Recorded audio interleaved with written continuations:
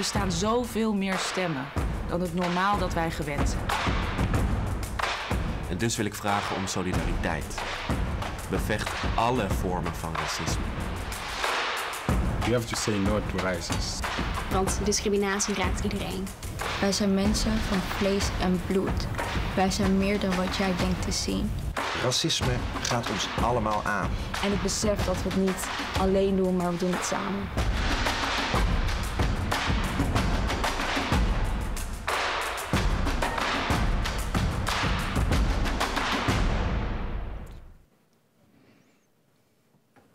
Goedenavond, goedenavond en welkom bij het programma van Pakhuis de Zwijger. Uh, namens de coalitie Samen tegen Racisme bij het programma Strijd tegen Islamofobie. Welkom aan de kijkers thuis uh, via Salto, via AT5 uh, en natuurlijk via, via de Zoom. mijn naam is Dion en ik ben de moderator van dit programma. Vanuit de coalitie Samen tegen Racisme wordt er aandacht besteed aan verschillende onderwerpen met betrekking tot racisme en discriminatie. Elke maand is er een livecast-uitzending en vandaag gaan we het hebben over islamofobie of antimoslimisme, uh, of misschien een andere definitie waar we het zometeen zeker weten over gaan hebben.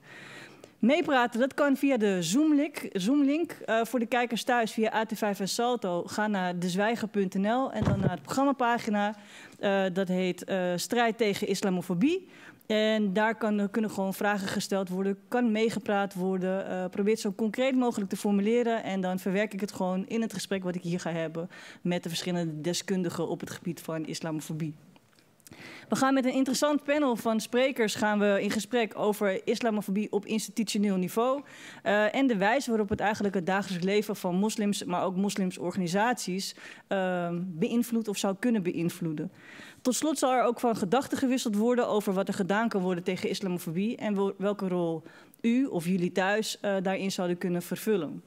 We hebben verschillende mensen uh, vandaag in de studio en via de Zoom. Uh, in de studio praten mee Abdou Menebi, lid en medeoprichter van Comité 21 Maart en het collectief tegen islamofobie en discriminatie. We hebben Nilab Ahmadi, uh, onderdeel van de Afghaanse jongerenbeweging uh, Azadi en beleidsmaker bij B1. We hebben ook Hennen Abu Lotfi. Zij is lid van Speak en politicoloog.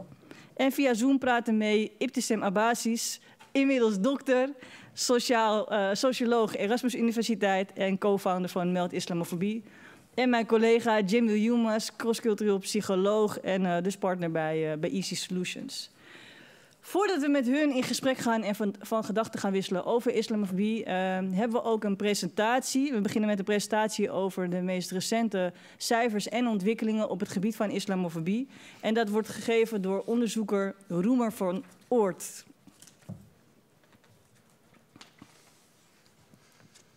Uh, ja, we kunnen beginnen. Uh, Dankjewel uh, voor deze interessante inleiding. En uh, ik ben ook heel blij om uh, in dit gezelschap te begeven van deze mensen die hier aan tafel zitten. Allemaal zeer deskundig en actief op het gebied van islamofobie. mijn naam is Roemer van Oort. Ik ben eigenaar en oprichter van projectbureau Zasha. En ik werk verder voor de weblog Republiek Allochtonië en medeoprichter van polderislam.nl. Uh, het beeld wat jullie zien, Monitor Moslimdiscriminatie, dat is een laatste publicatie uh, die ik samen met mijn collega's Ewout Butter en Ineke van der Valk heb gepubliceerd. En die ingaat op allerlei ontwikkelingen op het gebied van uh, moslimdiscriminatie, moslimhaat, islamofobie.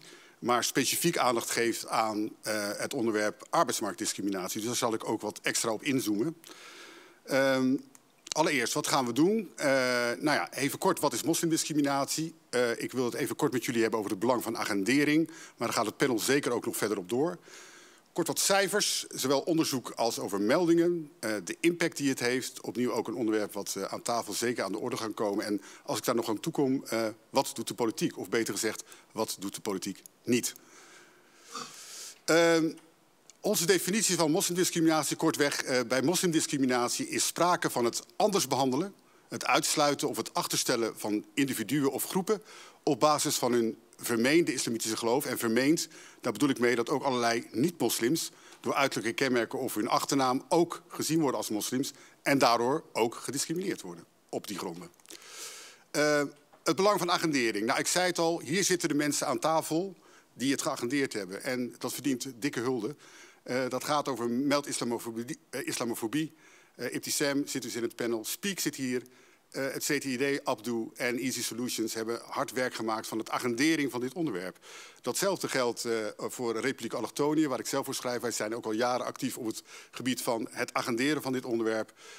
Onderzoekers, waaronder niet te vergeten, Ineke noemde ik al van, van de Valk, maar zeker ook Martijn de Koning van de Radboud Universiteit Nijmegen verdient daar een plek. En een aantal politici, en daar heb ik expres bij gezegd uit eigen kring, omdat het opvallend is dat vooral uh, politici die zelf een islamitische achtergrond hebben, hier in het verleden uh, werk van hebben gemaakt. Ik doe onder andere op uh, Ahmed Marcouch, die dit onderwerp heel vaak geagendeerd heeft. En nu tegenwoordig vooral mensen van uh, de organisaties als Denk en andere partijen waar veel moslims actief zijn, die agenderen het nog doorlopend. Ehm, goed, waar hebben we het over? Uh, uit onderzoek van het SCP, het Sociaal Cultureel Planbureau, heel recent, uit 2020, blijkt dat twee derde van de Marokkaanse Nederlanders en de helft van de Turkse Nederlanders discriminatie op basis van hun geloof ervaart. Ander onderzoek, onder andere dat van mij en van Ineke en van Ewoud en uh, dat van Ewoud en, uh, en de heer Omlo bevestigen dat beeld. En dat komt allemaal ongeveer op dezelfde cijfers neer. Dus dat ruim twee derde, wij komen dan ongeveer op, soms op 75 of 70 procent, dat ervaart.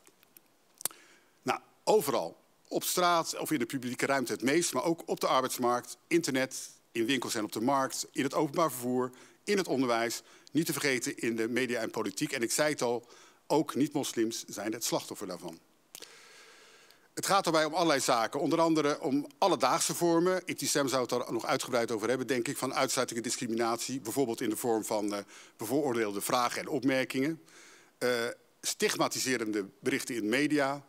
Uh, openlijke en soms gewelddadige vormen van discriminatie op grond van geloof. Dus het afrukken van hoofddoeken of andersoortige vormen daarvan. Uh, hate speech, nou, allemaal wel bekend. Uh, en ook tegen de instituties van moslims, ook daar kom ik nog later op terug, is er sprake van gewelddadige of een bedreigende voorvallen. Dan gaat het vooral over islamitische gebedshuizen en islamitische scholen. En niet te vergeten de talrijke voorstellingen en uitspraken van politieke partijen en van politici die echt haak staan op de grondwettelijke vrijheden van moslims.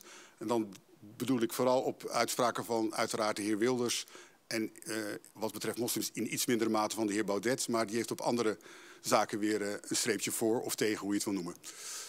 Uh, goed, de meldingen. Hier zie je een mooie grafiek van mijn collega Ewout. Die heeft hem nog even bijgewerkt tot 2020. En je ziet eigenlijk uh, dat de meldingen afnemen over het algemeen. Het blauwe streepje is uh, de politie. Het groene streepje zijn de algemene discriminatievoorzieningen. En het rode of bruine streepje is MIND. Dat is het uh, instituut wat ingesteld is door de overheid om internetdiscriminatie te volgen.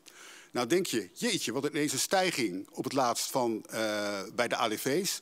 En dat is op één zaak, namelijk op hate speech op Facebook richting woningbouw, van de woningbouwvereniging, een site daarvan. Want die hadden enorm discriminerende opmerkingen en discriminerend beleid tegen moslims gevoerd. Dus vandaar die enorme ophoging. Maar je ziet dus over het algemeen een daling van het aantal meldingen de afgelopen jaren. Uh, daarover is ook minder bekend. En je zag dat streepje bij de politie ook ophouden. En dat is een interessant punt waar Abdu uh, het altijd over heeft en terecht. En dat komt omdat de politie moslimdiscriminatie, nadat het een aantal jaren wel ge geregistreerd werd, sinds 2019, anders dan bijvoorbeeld antisemitisme, niet meer apart registreert. Dus die cijfers zien we niet meer terug van de politie. Goed, het aantal meldingen van moslimdiscriminatie is sowieso extreem laag en het varieert per jaar. En dat houdt onder andere verband met allerlei internationale politieke ontwikkelingen en maatschappelijke ontwikkelingen. Uh, denk daarbij bijvoorbeeld uit de aanslagen die gepleegd worden uit naam van de islam. Uh, de zogenaamde veiligheidsissues rondom moskeeën, moslims, buitenlandse financiering en ga zo maar verder. En uh, de komst van islamitische vluchtelingen. Je ziet dan ook een, bijvoorbeeld in 2015 en 2016 een duidelijke stijging van het aantal meldingen. nou is dat, die meldingsbereidheid sowieso laag volgens SCP heeft daar onderzoek naar gedaan. 3% van het aantal discriminatiegevallen wordt maar geregistreerd. Hè, over het al, uh, overall. Dus niet alleen moslims, maar overall. Dat heeft, uh, hebben we onderzoek naar gedaan, een groot aantal redenen. Uh, mensen zeggen dat ze er geen energie voor hebben. Het heeft toch geen zin. Gewenning, die vind ik eerlijk gezegd echt dramatisch. Dat mensen er gewoon gewend aan zijn geraakt dat ze gediscrimineerd worden. Er is geen bewijs voor en dat is inderdaad vaak wel een probleem. Uh, angst voor de gevolgen, dat het bijvoorbeeld uh, iemand weer opnieuw achter je aankomt of wat dan ook. en sommige, of best wel veel mensen hebben ook een gebrek aan informatie over de mogelijkheden om te melden. Waar kan je nou melden en hoe kan ik melden? En hebben slechte ervaringen soms ook weer met die instanties. Dus de politie neemt die uh, aangifte niet goed op. Uh, er wordt niet doorverwezen. Uh, je staat daar voor lul en je moet weer drie dagen later terugkomen en ga zomaar verder. En heel duidelijk, dat kwam ook in onze onderzoeken steeds naar voren. Er zijn ook heel veel mensen die gewoon niet in de slachtoffer willen aannemen. Die vinden dat een slachtofferrol als je zegt dat je gediscrimineerd wordt. Eigenlijk ook dramatisch dat je dat zo ziet. Deze heb ik er ook even speciaal uitgericht. En uh, dat is een beetje een stokpaardje van Republiek Allochtonië. Uh, dat zijn de incidenten, uh, noemen ze dat, maar ik noem het bewust voorvallen gericht op moskeeën. Want incidenten zou aangeven dat het om incident gaat, maar dat gaat het al lang niet meer. Ehm, je ziet hier een eh, ontwikkeling sinds 2010 waarin het uh, eerst afneemt en dan weer toeneemt. Uh, het zijn er gemiddeld zo'n ja, tussen de 15 en 20 of 30 per jaar. En wij hanteren deze cijfers, en soms worden die cijfers verhoogd, maar wij hanteren deze cijfers omdat wij bijvoorbeeld een, een haatbrief richting 20 moskeeën, of 30 of 40 of misschien wel 100 moskeeën regelen als één voorval en niet als 20 of 30 voorvallen. Dus soms komen die cijfers dan veel hoger te liggen. Maar dit zijn dus echt de specifieke voorvallen overal. Nou, uh, ik denk, nou ik denk niet alleen, maar ik weet wel zeker dat het aantal voorvallen nog veel hoger is omdat er om allerlei redenen die we al eerder noemen, genoemden... een heleboel dingen niet gemeld worden. Dus uh, alhoewel de, wij wel de indruk hebben dat uh, de melding van voorvallen gericht op moskeeën... hoger is dan tegenover moslimdiscriminatie in het algemeen... geeft dit natuurlijk maar een topje van de ijsberg. Goed, moslimdiscriminatie op de arbeidsmarkt even nader toegelicht. Ik weet niet of jullie deze uitzending hebben gezien. Arjen Lubach, wat mij betreft, helaas is hij met dit programma gestopt. Maar die heeft een leuke uh, uh, ja, een, een, een, een, parodie gemaakt op de uitzending van Radar. Die heel dramatisch was uh, en waar de cijfers nu over gaan. Er waren 78 uitzendbureaus benaderd met de vraag... wij willen graag mensen in onze branche hebben, maar wij willen geen Marokkanen, Turken of Surinamers. Expliciet die vraag, hè? dus geen Marokkanen, Turken of Surinamers. Ja, eh, schrikbarend, maar 50% was gewoon bereid om daarop in te gaan. Dus bereid om te discrimineren, dus te zeggen... nee hoor, wij zorgen er wel voor dat u geen Marokkanen, Turken of Surinamers krijgt. Uh, eh, 14% legde de verantwoordelijkheid bij de opdrachtgever, dus in dit geval uh, Radar, want die, die zei dat, die, dat zij uh, het, die mensen nodig hadden. 36% zei nee, dus een, een, derde zeg maar ruim. En 3% nam geen beslissing. Uh, dit vond ik van collega's uit Luzern, de universiteit, een, ook een schokkend voorbeeld. En daarom heb ik dat ook even uitgelegd. U ziet hier een, drie foto's van dezelfde vrouw. Die zich eerst Sandra Bouwer noemt. Dezelfde vrouw. Die kan ook. Ja, ik bedoel, ze ziet er uh, toch gewoon een Duitse vrouw. Uh, Mirjam is. Toen noemde ze zichzelf Mirjam is Turk. En op het laatst ziet u dezelfde vrouw met een hoofddoek. Sandra Brouwer kreeg in bijna 20% van de gevallen een uitnodiging voor een sollicitatiegesprek. Mirjam Usturk in 13,5% en Mirjam Usturk met hoofddoek in 4,2% van het gevallen. Dus minder dan een kwart van de kansen op een, uh, krijgt dezelfde vrouw als ze een andere achternaam neemt en een hoofddoek opdoet. Goed, dan even ons eigen onderzoek van de monitor moslimdiscriminatie. Uh, we hebben dat uh, literatuur, literatuurstudie gedaan, een survey waarin 315 mensen deelnamen, diepte-interviews en groepsgesprekken. En het biedt dus inzicht in relevante ervaringen op de arbeidsmarkt die veel moslims delen. Het is, ja, dan krijgen we weer over representatief. Het is een mooi overzicht van verschillende mensen en uh, het geeft in ieder geval een goed beeld van wat er speelt. En het komt ook in allerlei onderzoeken in grote lijnen terug. Ruim driekwart had te maken met discriminatie op de arbeidsmarkt. Op grond van hun opnieuw vermeende islamitische geloof. En dus opnieuw, en ik vind het echt belangrijk om dat steeds te zeggen... ook respondenten die zichzelf niet als moslim beschouwen... hebben met deze vorm van discriminatie te maken. Vanwege hun, nogmaals, achternaam, kleding, whatever.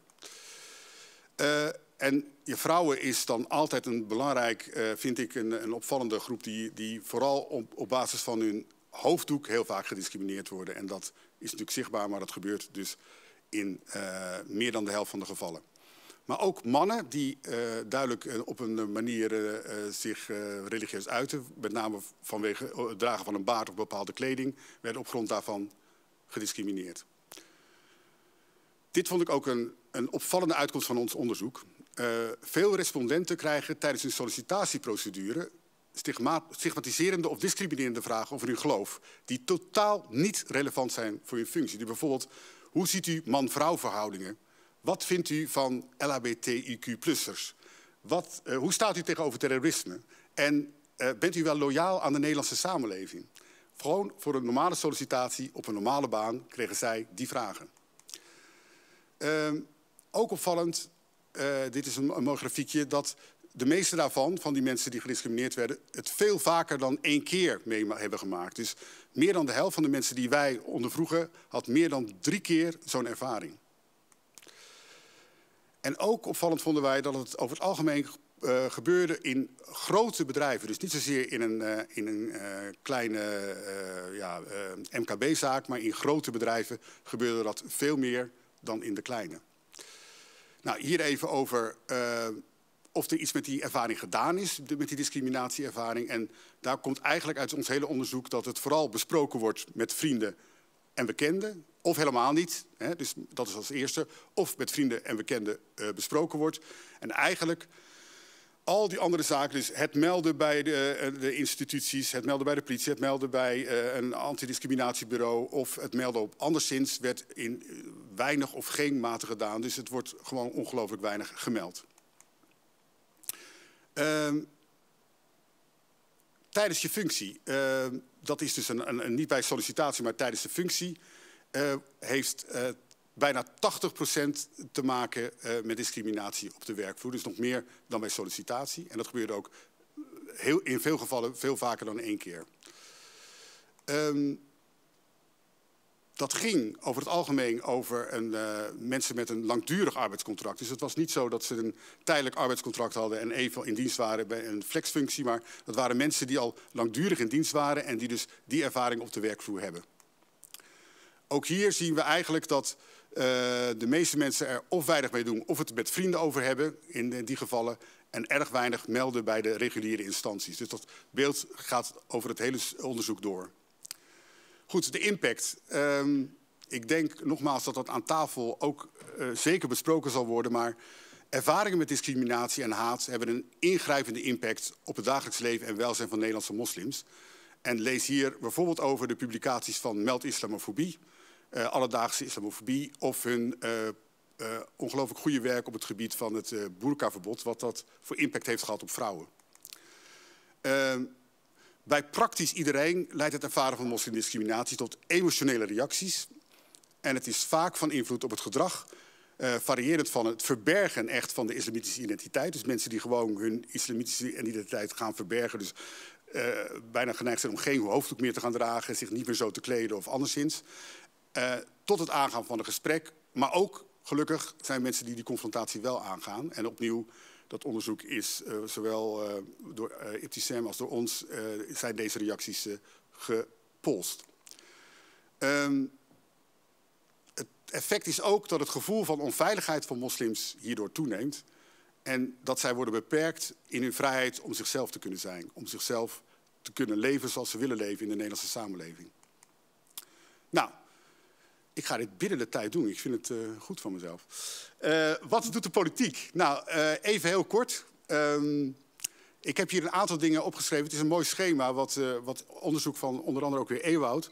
Ehm, dat eigenlijk heel veel partijen... en ik heb hier dus eigenlijk alleen maar de partijen die überhaupt iets doen. Hè. Dus er staan heel veel partijen niet...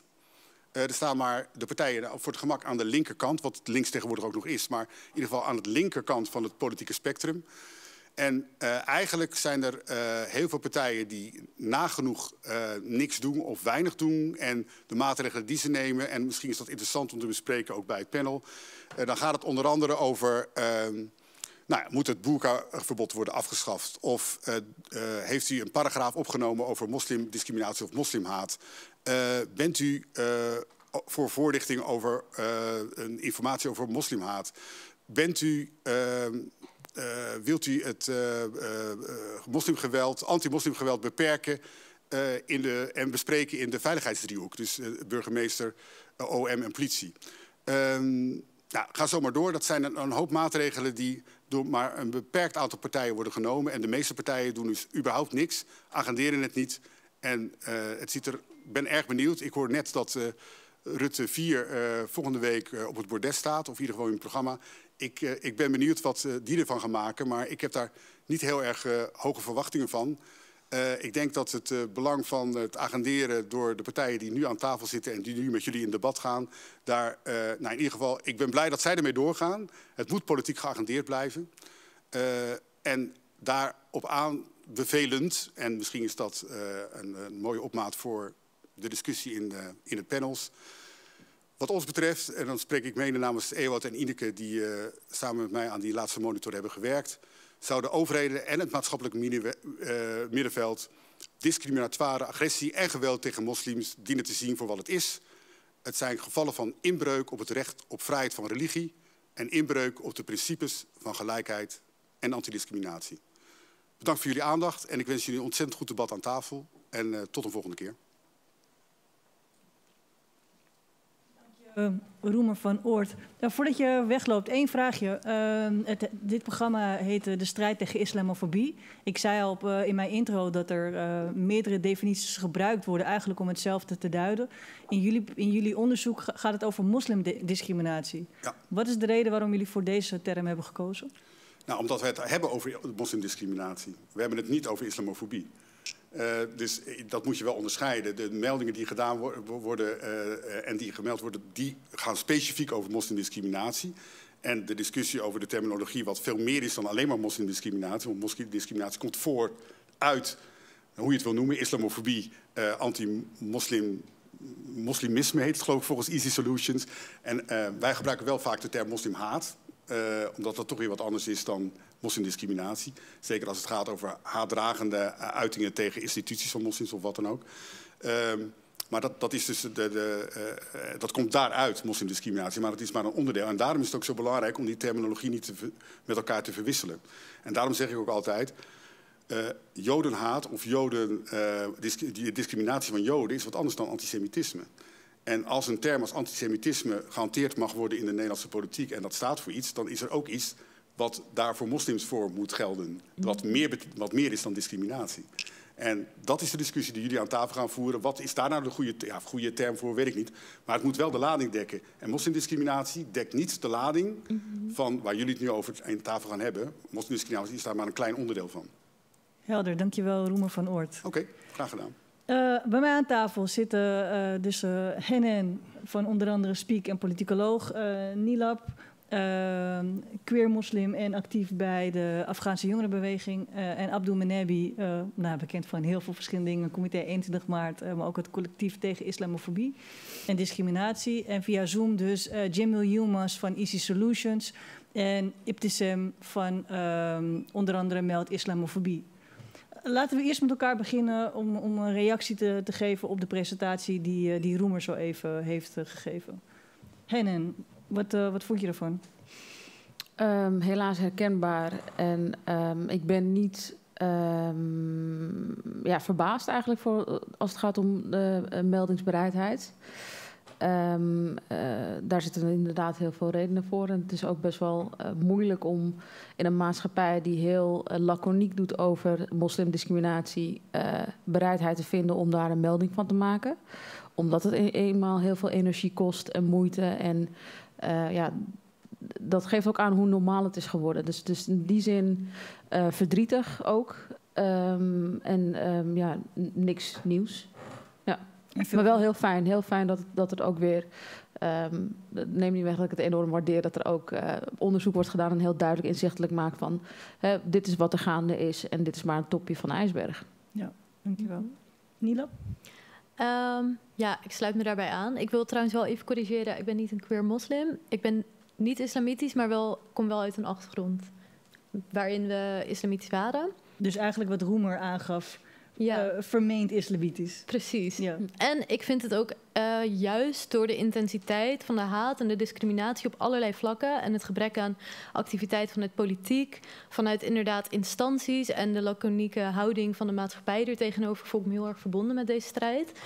Ehm, en ja, ik vind, het, ik vind de cijfers echt deprimerend, maar ik heb dit ook op Europees niveau gezien en dan is het nog erger.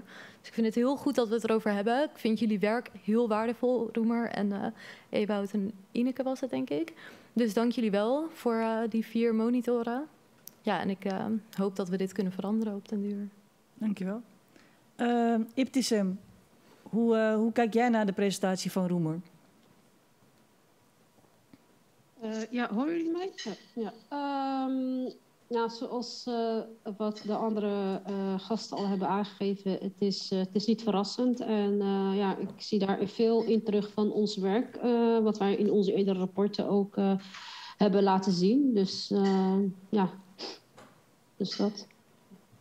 Oké, dankjewel. Ehm Abdul, jij kent deze, dit, dit, dit onderzoek en de resultaten die ermee gepaard gaan. Hebt al vaker deze presentatie ook gezien en gehoord. Choqueert het je nog, deze... Nee, dit is alleen eh, meer erger geworden. Meer erger geworden in de zin van, we hebben heel jaren, uh, denk aan de vrienden onderzoekers zoals Ewout Roemer, Inge van der Valk, alles jaren met de strijd van de collectief tegen islamofobie, met islamofobie, allerlei dit soort bewegingen. Ons belangrijke functie in het begin was misschien, mensen weten het niet, of misschien is niet goed geïnformeerd. Daarom, wij moeten signaleren. En wij hebben altijd gesignaleerd. Maar het probleem is, is geen resultaat. Jij signaleert wat, jij hoopt gaat veranderen, maar de laatste tijd, wij kunnen constateren, is geen verandering, is meer erger. En dat wij kunnen zien van de aanpak van de politieke partij. We hebben de landelijke debatten gehad, in de brieven van de minister. We kunnen zien, als het gaat over islamofobie, is geen sprake van.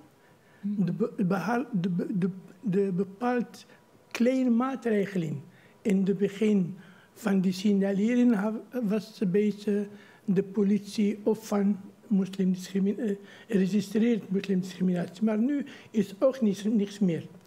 Alles gaat over de definitie, met alle respect naar onze vrienden. Ook hun hebben vanaf het begin was echt een strijd tegen de definitie van, of de, de benoeming van islamofobie. Benoeming van islamofobie, met name A, is begonnen door bepaald intellectuelen, wie voor hun islamofobie betekent, wij mogen geen kritiek over de islam. Mm -hmm. Daarom was het echt een verzet tegen dit woord. Ook de administratie, bijvoorbeeld de overheden of gemeenten, als jij maakt een brief of een signering over islamofobie, je ziet ook de verzetten, maar niet alleen de verzetten, maar ook voorwaarden, alsjeblieft, wij willen niet horen over moslims voor uh, islamofobie. Abdul, ik ga even onderbreken. Ik wil iets dichter bij de microfoon zitten, anders verstaan ze daarom, niet goed. Daarom, wij is gedwongen, tactisch gezien, om blijf met de woord van islamofobie. Wij gaan uit, wij hebben gelezen, gaat over islamofobie. Als wij kunnen nu zien wat heeft meneer Erik Zemmour in Frankrijk, of wat de regering in Frankrijk, of wat doet hier Wilders of, uh, of Baudet, gaat over haatzaaien tegen de moslim. Het gaat over de verbieding van één religie. Zonder sympathie of geen sympathie voor religie. Wat betekent sluiten van moskeeën? Wat betekent wij moeten alle vluchtelingen uit het islamitisch land uh, niet accepteren? Wat betekent de bespionering van de instituties van de religie? Het gaat meer over tegen de moslim, tegen uh, islam, kan zijn identiteit, kan zijn cultuur, kan zijn religie. Maar dit elementen, de laatste jaren begint het gevaarlijk, omdat we hebben die uh, zogenoemde traditioneel anti-moslim. Nu we hebben een extreem rechts, heel agressief. wie begint met heel duidelijk moslim moet weg, moslim te verbieden, islam moet verbieden. En nu wees het echt met, een, met officieel bepaald fascistische groepen. Ik beschouw die ergens meer uit Frankrijk, het is echt een, een, een nieuw fascisme. Wie is bezig met, wij moeten Frankrijk bevrijden tegen de islam. Dat is een tendens die ook in andere Europese landen en ook in Nederland zichtbaar is. Daar gaan we het zo meteen over hebben. Zeker Nederland volgt die weg van Frankrijk. Voordat we daarover verder gaan. Uh, zou jij misschien uh, licht kunnen schijnen op waarom uh, er echt sprake is van islamofobie en, en, en hoe dat dan echt inderdaad geïnstitutionaliseerd is? Eigenlijk verder voortborduren op wat, wat Abdus even, zo even aangaf. Ehm, ja, uh, ik, ik, ik denk dat het belangrijke in deze. Kijk, we kunnen het over definities blijven hebben. Ik denk dat uh, het vooral nu gaat dat in ieder geval degenen die zich het meest met het onderwerp bezighouden, liever een definitie hebben die de gehele lading uh, dekt. Dus die ook het institutionele karakter van het fenomeen laat zien. En dan merk je dat iemand, de ene, hoe zeg je dat, de voorkeur heeft voor de term islamofobie, de andere zegt antimoslimisme of antimoslimracisme. Um, nou ja, laten we geen semantische discussie voeren, maar vooral hebben over de inhoud.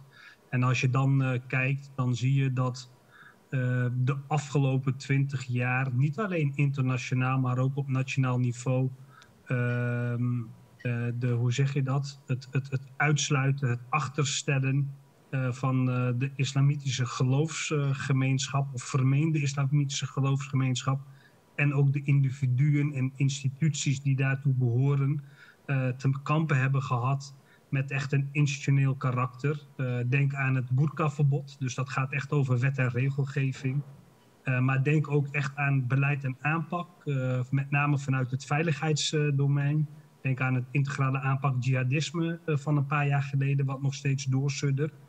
Nou, we zijn recent natuurlijk ook opgeschrikt vanwege het nieuws uh, dat er onderzoek is gedaan in moskeeën, zonder dat mensen daarvan wisten, stiekem onderzoek. Uh, omdat ver, naar vermeend radicalisme, waarbij gewoon grondwettelijke vrijheden wederom zijn geschonden uh, vanuit de Nederlandse overheid in het kader van veiligheid. Ja, en zo kan ik nog best wel veel verschillende voorbeelden noemen van op welke wijze in de praktijk de islamitische Nederlanders te kampen hebben met institutionele vormen van uh, racisme. Um, en even los van natuurlijk uh, walgelijke uitspraken vanuit politici, um, one-liners over het sluiten van grenzen of moskeeën. Maar als je kijkt gewoon echt naar hoe beleid in de praktijk ook soms uitwerkt ten, ten, aanzien van moslims, dan merk je al dat het al een realisme is van vandaag de dag. Um, ja, en ik, ik, kan nog wel meer hoor. Denk aan ook het uh, hele onderzoek rondom uh, buitenlandfinanciering, de manier waarop dat is uh, opgepakt met de parlementaire enquête naar moskeeën toe. Hey, zo zijn er tal van voorbeelden. Jamil, wanneer. Um, Abdou die refereerde, refereerde, net eigenlijk al naar, naar extreem rechts. en überhaupt de verrechtsing en verharding van de samenleving en het politi politiek spectrum. Uh, uit die kringen wordt er ook vaak gesproken over uh, dat het niet een vorm van racisme is, maar gewoon religiekritiek. Wat is, hoe, hoe kan je echt onderscheid maken tussen kritiek op religie en echt islamofobie? Ja, ik, ik kijk, wat ik merk dat er in Nederland heel vaak, uh, ik noem het dat evenwichtkunstenaars, die proberen dan hun xenofobe ideeën goed te praten door zich te verschuilen over, achter religiekritiek. Uh, maar op het moment dat je religie continu gebruikt of misbruikt om ongrondwettelijke ideeën uh, door uh, te drukken, waarmee je grote groepen mensen achterstelt in de samenleving, kun je niet meer spreken van religiekritiek. dus als dat terugkomt in wet en regelgeving, in beleid en aanpakken, de manier waarop het uitstraalt op die grote groepen mensen, en je ze daarmee ook discrimineert, ja, dan is het gewoon geen religiekritiek uh, uh, meer. Ik, ik, geef wel eens de vergelijking, uh, als we dezelfde sensitiviteit zouden tonen eh, richting bijvoorbeeld de islamitische gemeenschappen, zoals we dat terecht doen richting de Joodse gemeenschappen in Nederland. dan zou je een veel evenwichtigere discussie met elkaar kunnen voeren. En ook een eerlijke discussie kunnen voeren over wanneer iets echt religiekritiek is en wanneer gewoon iets gewoon een vorm van uh, anti-moslimracisme of anti-moslimisme is. Dankjewel. Um, Hennen, ik zei het al, jij bent uh, onder andere lid van Speak, maar je bent ook politicoloog. Mm -hmm. Hoe zou je als politicoloog uh, de situatie van islamofobie analyseren, zowel op Europees als op nationaal niveau? Um, zoals Jamil net terecht zegt, er zijn helaas tig voorbeelden waarin uh, beleidsmatig en structureel getarget wordt op moslims. Uh, wat ik uh, zie gebeuren is dat grondwettelijke vrijheden worden overtreden waar iedereen last van heeft. Als we kijken bijvoorbeeld naar het burka-bevond, ik vond het echt bijzonder merkwaardig dat er zoveel energie en tijd in is. Volgens mij heeft het twee keer geduurd voordat het überhaupt door de, door de Kamer werd goedgekeurd. Uh, we leven nu in een tijd waarin mensen bang zijn voor hun vrijheden en veiligheden. Daar kan je natuurlijk allerlei soorten uh, ja, vragen bij stellen. Alleen het jammer is dat door de verharding van de maatschappij en ook mensen structureel of woke of wappie noemen, um, kijken we niet naar wat gebeurt er eigenlijk in de tussentijd. Ja, de um, uh, boerkaverbod uh, is uh, neutraal gemaakt onder de noemer uh, gezichtsbedekkende kleding. Als je nu gaat kijken, en dat is best wel interessant, Vallen de Money heeft daar ook een paar artikelen over geschreven. er wordt gezichtsherkenning gebruikt, onrechtmatig. Met, hoe noem je dat, artificial intelligence, worden foto's, of in ieder geval is een controversieel programma gebruikt. Dat weten we ook alleen maar via BuzzFeed, dus ook niet de Nederlandse media, by the way, dat is ook een probleem. Um, dat social media foto's zijn gebruikt om gezichtsherkenningssoftware te gebruiken bij justitie en veiligheid. Dat is een grove inbreuk op de grondwettelijke rechten die we allemaal als burgers hebben. Want je moet natuurlijk eerst een aanleiding hebben, wil je mensen onderzoeken. En nu worden biometrische gegevens gebruikt en uh, ja, vrouwen, moslimvrouwen met name, dus moslims en moslimvrouwen, moslimmannen vaker in, in uh, vluchtelingen uh, situaties, wat ik ook heel erg pijnlijk vind. Want dan ga je mensen afstraffen en die het al moeilijk hebben, ontheemd zijn door ook wederom Europese verantwoordelijkheden. Want we hebben allemaal, we in ieder geval, de regeringen hebben ervoor gekozen, ondanks dat heel veel mensen nee hebben gezegd, om oorlogen te gaan voeren die uiteindelijk ook niet klopten. Mm -hmm. Uh, maar het punt is, even terug naar de gezichtsbedekking. Ik zie um, uh, dingen gebeuren en wetten aangenomen worden onder het mom van... dit zijn de mensen die we moeten bevrijden. Dit zijn de mensen die gevaarlijk zijn voor onze maatschappij... en daarom maken we deze regel. Maar ondertussen uh, zien wij heel veel vrijheden dus ingeperkt worden... waar we allemaal last van hebben. En dat is een beetje het probleem wat ik nu... ja, de slogan van, van Speak is... ik ben niet jouw strijdtoneel.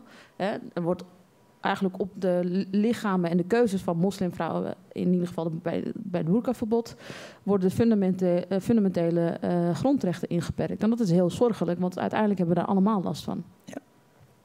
Dankjewel. Uh, Nilab, jij hebt zelf een vluchtelingenachtergrond. Mm -hmm. en zet je ook heel erg in binnen de LBTI-plus-gemeenschap. Mm -hmm. vaak zie je ook dat ehm, de LBTI plusgemeenschap tegenover de islamitische gemeenschappen wordt gezegd. Mhm. Daar heb je ook een bepaalde ideeën bij. Zou je dat met ons kunnen delen? Ja, wat Hanan eigenlijk al zei, is dat inderdaad de hele groep, uh, de islamitische bevolking, wordt zo uh, gewantrouwd. Dat gebeurt door mediaframing, door politieke framing. En over het algemeen zien wij deze groep, nou, ik zeg niet allemaal, maar als je gewoon vanuit de media een, een blik zou werpen op deze groep, ga je er eigenlijk al vanuit, ze hebben kwade intenties, zijn vrouwenvriendelijk, zijn LHBTQI-onvriendelijk. En dat zorgt ervoor dat ten eerste vluchtelingen, ontheemde mensen die echt in levensgevaar op de grenzen van Europa op voor, uh, strijden om, om overeind te blijven, zo gruwelijk behandeld worden. En dat wij dat eigenlijk niet zo erg vinden, omdat we het zien als een onveilige groep. Dus de behandeling die we dan toepassen, hoe onmenselijk die ook is, wordt gepositioneerd als dit is nodig om ons te beschermen. En wat je dan vergeet, is dat intersectionaliteit natuurlijk een ding is. In die groep ten eerste zie je niet dat dit gewoon mensen zijn met een individueel verhaal die zijn gevlucht voor terror, voor allerlei omstandigheden die wij dan weer aan kaarten als waar wij uh, bang voor zijn. En ten tweede, er zitten heel veel queer people tussen, er zitten vrouwen tussen en al die groepen die wij dan positioneren tegenover de islamitische gemeenschap of vermeend islamitische gemeenschap, die maken daar gewoon deel van uit. Wat ik zelf merkte toen ik opgroeide was dat ik inderdaad heel erg een tweestrijd voelde intern bijna. Dus ik wist, ik zie dat ik voor mijn queer identiteit vanuit alle hoeken in de samenleving zoveel bijval zou hebben. Als ik me daar volledig op ging richten en ik zou zeggen van hé, hey, dit is waar ik voor wil strijden. Bijna iedereen zou achter me staan. Maar voor mijn vermeend islamitisch zijn, zag ik dat er zo weinig support was en dat er zoveel discriminatie plaatsvindt, dat het eigenlijk voelt alsof je moet kiezen tussen het een of het ander. Het lijkt bijna onverenigbaar en dat is echt een frame wat ik echt ontzettend problematisch vind. Dus toen heb ik ook heel lang gedacht, nou dan kies ik eigenlijk voor de underdog, want die heeft veel meer die support nodig. En um, ja, de gemeenschap neemt het al op voor de queer community, dat zit wel een stuk safer dan, dan dat de islamitische gemeenschap het heeft in deze samenleving. En nou ja, naarmate de tijd vorderde, ben ik heel erg gaan zien van dat hoef ik helemaal niet te doen. Maar ik denk dat dat voor heel veel jongeren nog steeds op allerlei vlakken zorgt voor een soort van interne tweestrijd. En um, ja, daar hebben we echt de media en, en onze politieke verantwoordelijke voor te danken. En ik denk dat dat ook een goede discussie is om te hebben. Maar denk je dat de reden is dat, dat de media en de politiek het op die manier hebben geframed? Nou, ik denk dus dat als we het over moslimhaat hebben, en ik wil het vaak ook het liefst moslimhaat noemen, want ik denk dat wat wij heel vaak doen, net als met klimaatverandering, we noemen het niet meer opwarming van de aarde, wat heel dringend klinkt. We marginaliseren de problematiek. En islamofobie, dat klinkt als iets van, ja, je bent bang. Sorry, maar niemand heeft recht om bang te zijn voor een religie of een religieus persoon. Dat moet je gewoon zijn omdat iemand echt dingen heeft gedaan waardoor je kan zeggen van deze persoon individueel is iemand om bang voor te zijn.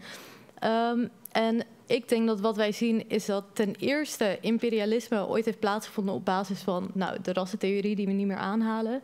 Dus je kan tegenwoordig niet meer zeggen van ik ga dat land binnenvallen omdat deze mensen minder waardig zijn. Dus wat we hebben gedaan is zeggen, oh maar dit land heeft waarschijnlijk wapens. En toevallig zijn dat bijna altijd islamitische landen. Of dit land heeft iets waardoor we daar naartoe moeten. En op een gegeven moment, ik ben natuurlijk Afghaans, dus je kan zien in Afghanistan dat er twintig jaar aan uh, inmenging heeft plaatsgevonden, waarbij heel erg is ingezet op het creëren van een broedgrond voor terreur. En dat toen in 2001 dat eigenlijk heel fout heeft uitgepakt voor Amerika, dat ze terug zijn gegaan. En nu, nou, de netto-uitkomst is er zijn 2000 Amerikaanse soldaten dood, maar er zijn bijna 4.000 of 5.000 contractors overleden. Dus wat voor mij heel belangrijk is, is dat het marginaliseren van mensen dezelfde structuur heeft. Dus we, maken, we zeggen niet meer mensen zijn minder waardig, maar nu pakken we ze op hun betrouwbaarheid.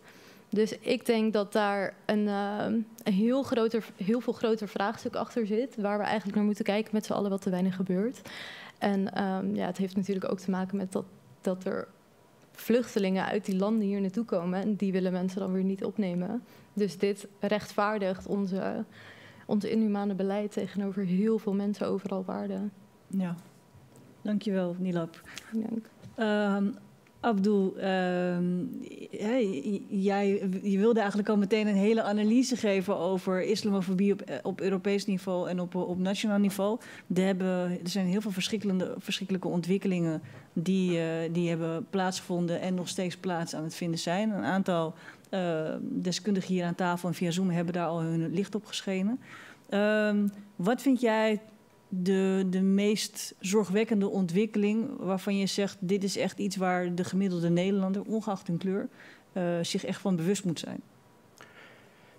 Ik denk juist uh, de Nederlandse bevolking of, uh, moet, moet niet alleen leren, maar weten van de, hoe de politiek, hoe de extreem rechts, hoe de extreme groepen gebruikt de islamofobie, is niet in de belangen van Nederland of van Wit-Nederland. Is in de belangen alleen van verdeling in hier, is in de belangen van uh, een uh, uh, no respect aan geen enkel referentie van mensenrechten of de respect van de anderen, is alleen meehelpen, misschien niet gechargeerd, waar extreemrechts bezig om te voorbereiden de hele oorlog tegen vluchtelingen, tegen de migranten en tegen de moslim. Dit gevaar is er. Ik, ik, ik, ik, denk niet dat dat gebeuren, maar de sfeer die spanning wat creëert in de, in, in de Nederland of in Europese samenleving, is heel gevaarlijk. Ik geef de voorbeeld, de landen, Noord-Europa bijvoorbeeld, met name Denemarken, Zweden, uh, Oostenrijk, landen van per historisch was altijd bekend landen van mensenrechten, landen van de opvang van de vluchteling. Kijk nu de beleid van die landen hoe die landen, de extreme rechts, begint meer sterk te worden. En ook de officiële overheden bezig om een onmenselijk uh, beleid tegen de moslim, uh, islamieten en vluchteling. Ik denk ook naar, uh, naar hoe in, in, in, in Nederland is gebeurd. die, die sfeer kan creëren ook tussen de verschillende bevolkingsgroepen uh, is alleen de, de verdeling in eerst. Betekent, waar, gaat het om? Gaat over ons land, Nederland, moet beter zijn. Moet beter zijn, moet uh, uh, respect van de, de regels. Je moet wij zoeken wie is ons vijand of de verantwoordelijk van de, de, de slechte situatie van economie of veiligheid. Is de overheid, is de groepen van de, van de kapitaal, is de Nederlandse regering wie bezig met oorlogen. Weet u niet, want de regering praat over die migranten moeten leren van mensenrechten of die moslim moet aanpassen aan de Nederlandse samenleving. Dezelfde regering steunt dictaturen binnen de islamitische landen. Dezelfde regering bezig om te stimuleren aan direct de, de, de fanatieke moslimterroristen uh, in het Midden-Oosten. Ja, die, worden, dus, die groepen worden gefinancierd, Financierd van middelen voorzien, ja. et cetera. Dezelfde regering wie steunt in land, apartheidland Israël, wie is dagelijks bezig met een apartheidbeleid. Ik denk die, die, die dubbele, dubbele uh, aanpak uh, werkt niet. Mm -hmm. Of wij moeten serieus nemen voor gelijke recht, voor de respect. En wij moeten ook allemaal tegen elk vorm van terrorisme. Elk vorm van discriminatie als het gaat over andere groepen, LGBT of vrouwen of joden.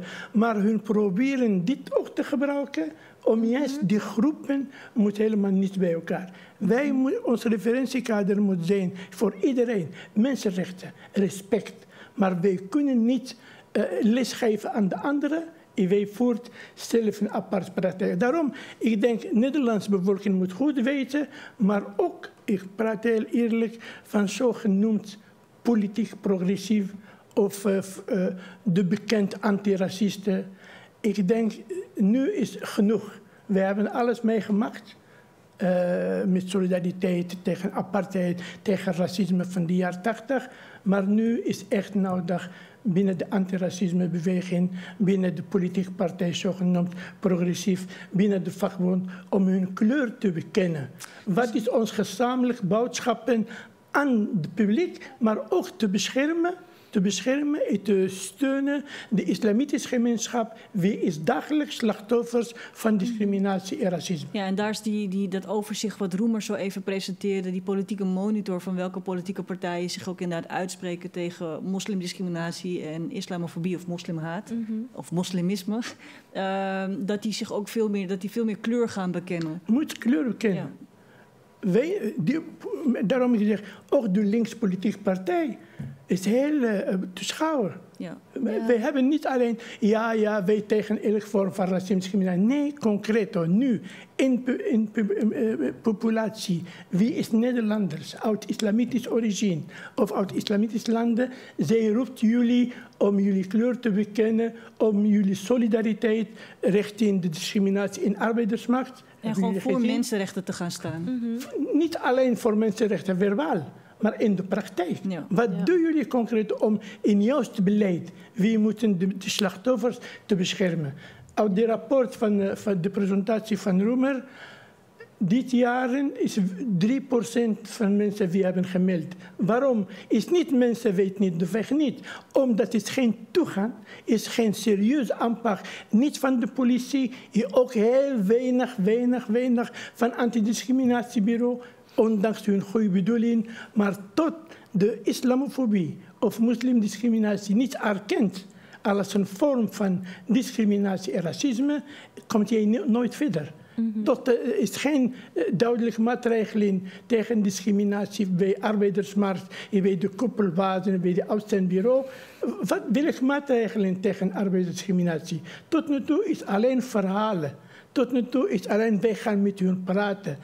Wij hebben genoeg van. Wij moeten maatregelen, juist in dit periode van nu, met corona, consequenties gaat discriminatie meer groot worden. Je gaat de uitsluiting van islamitisch ook met groter. Nu binnenkort komt de verkiezingen.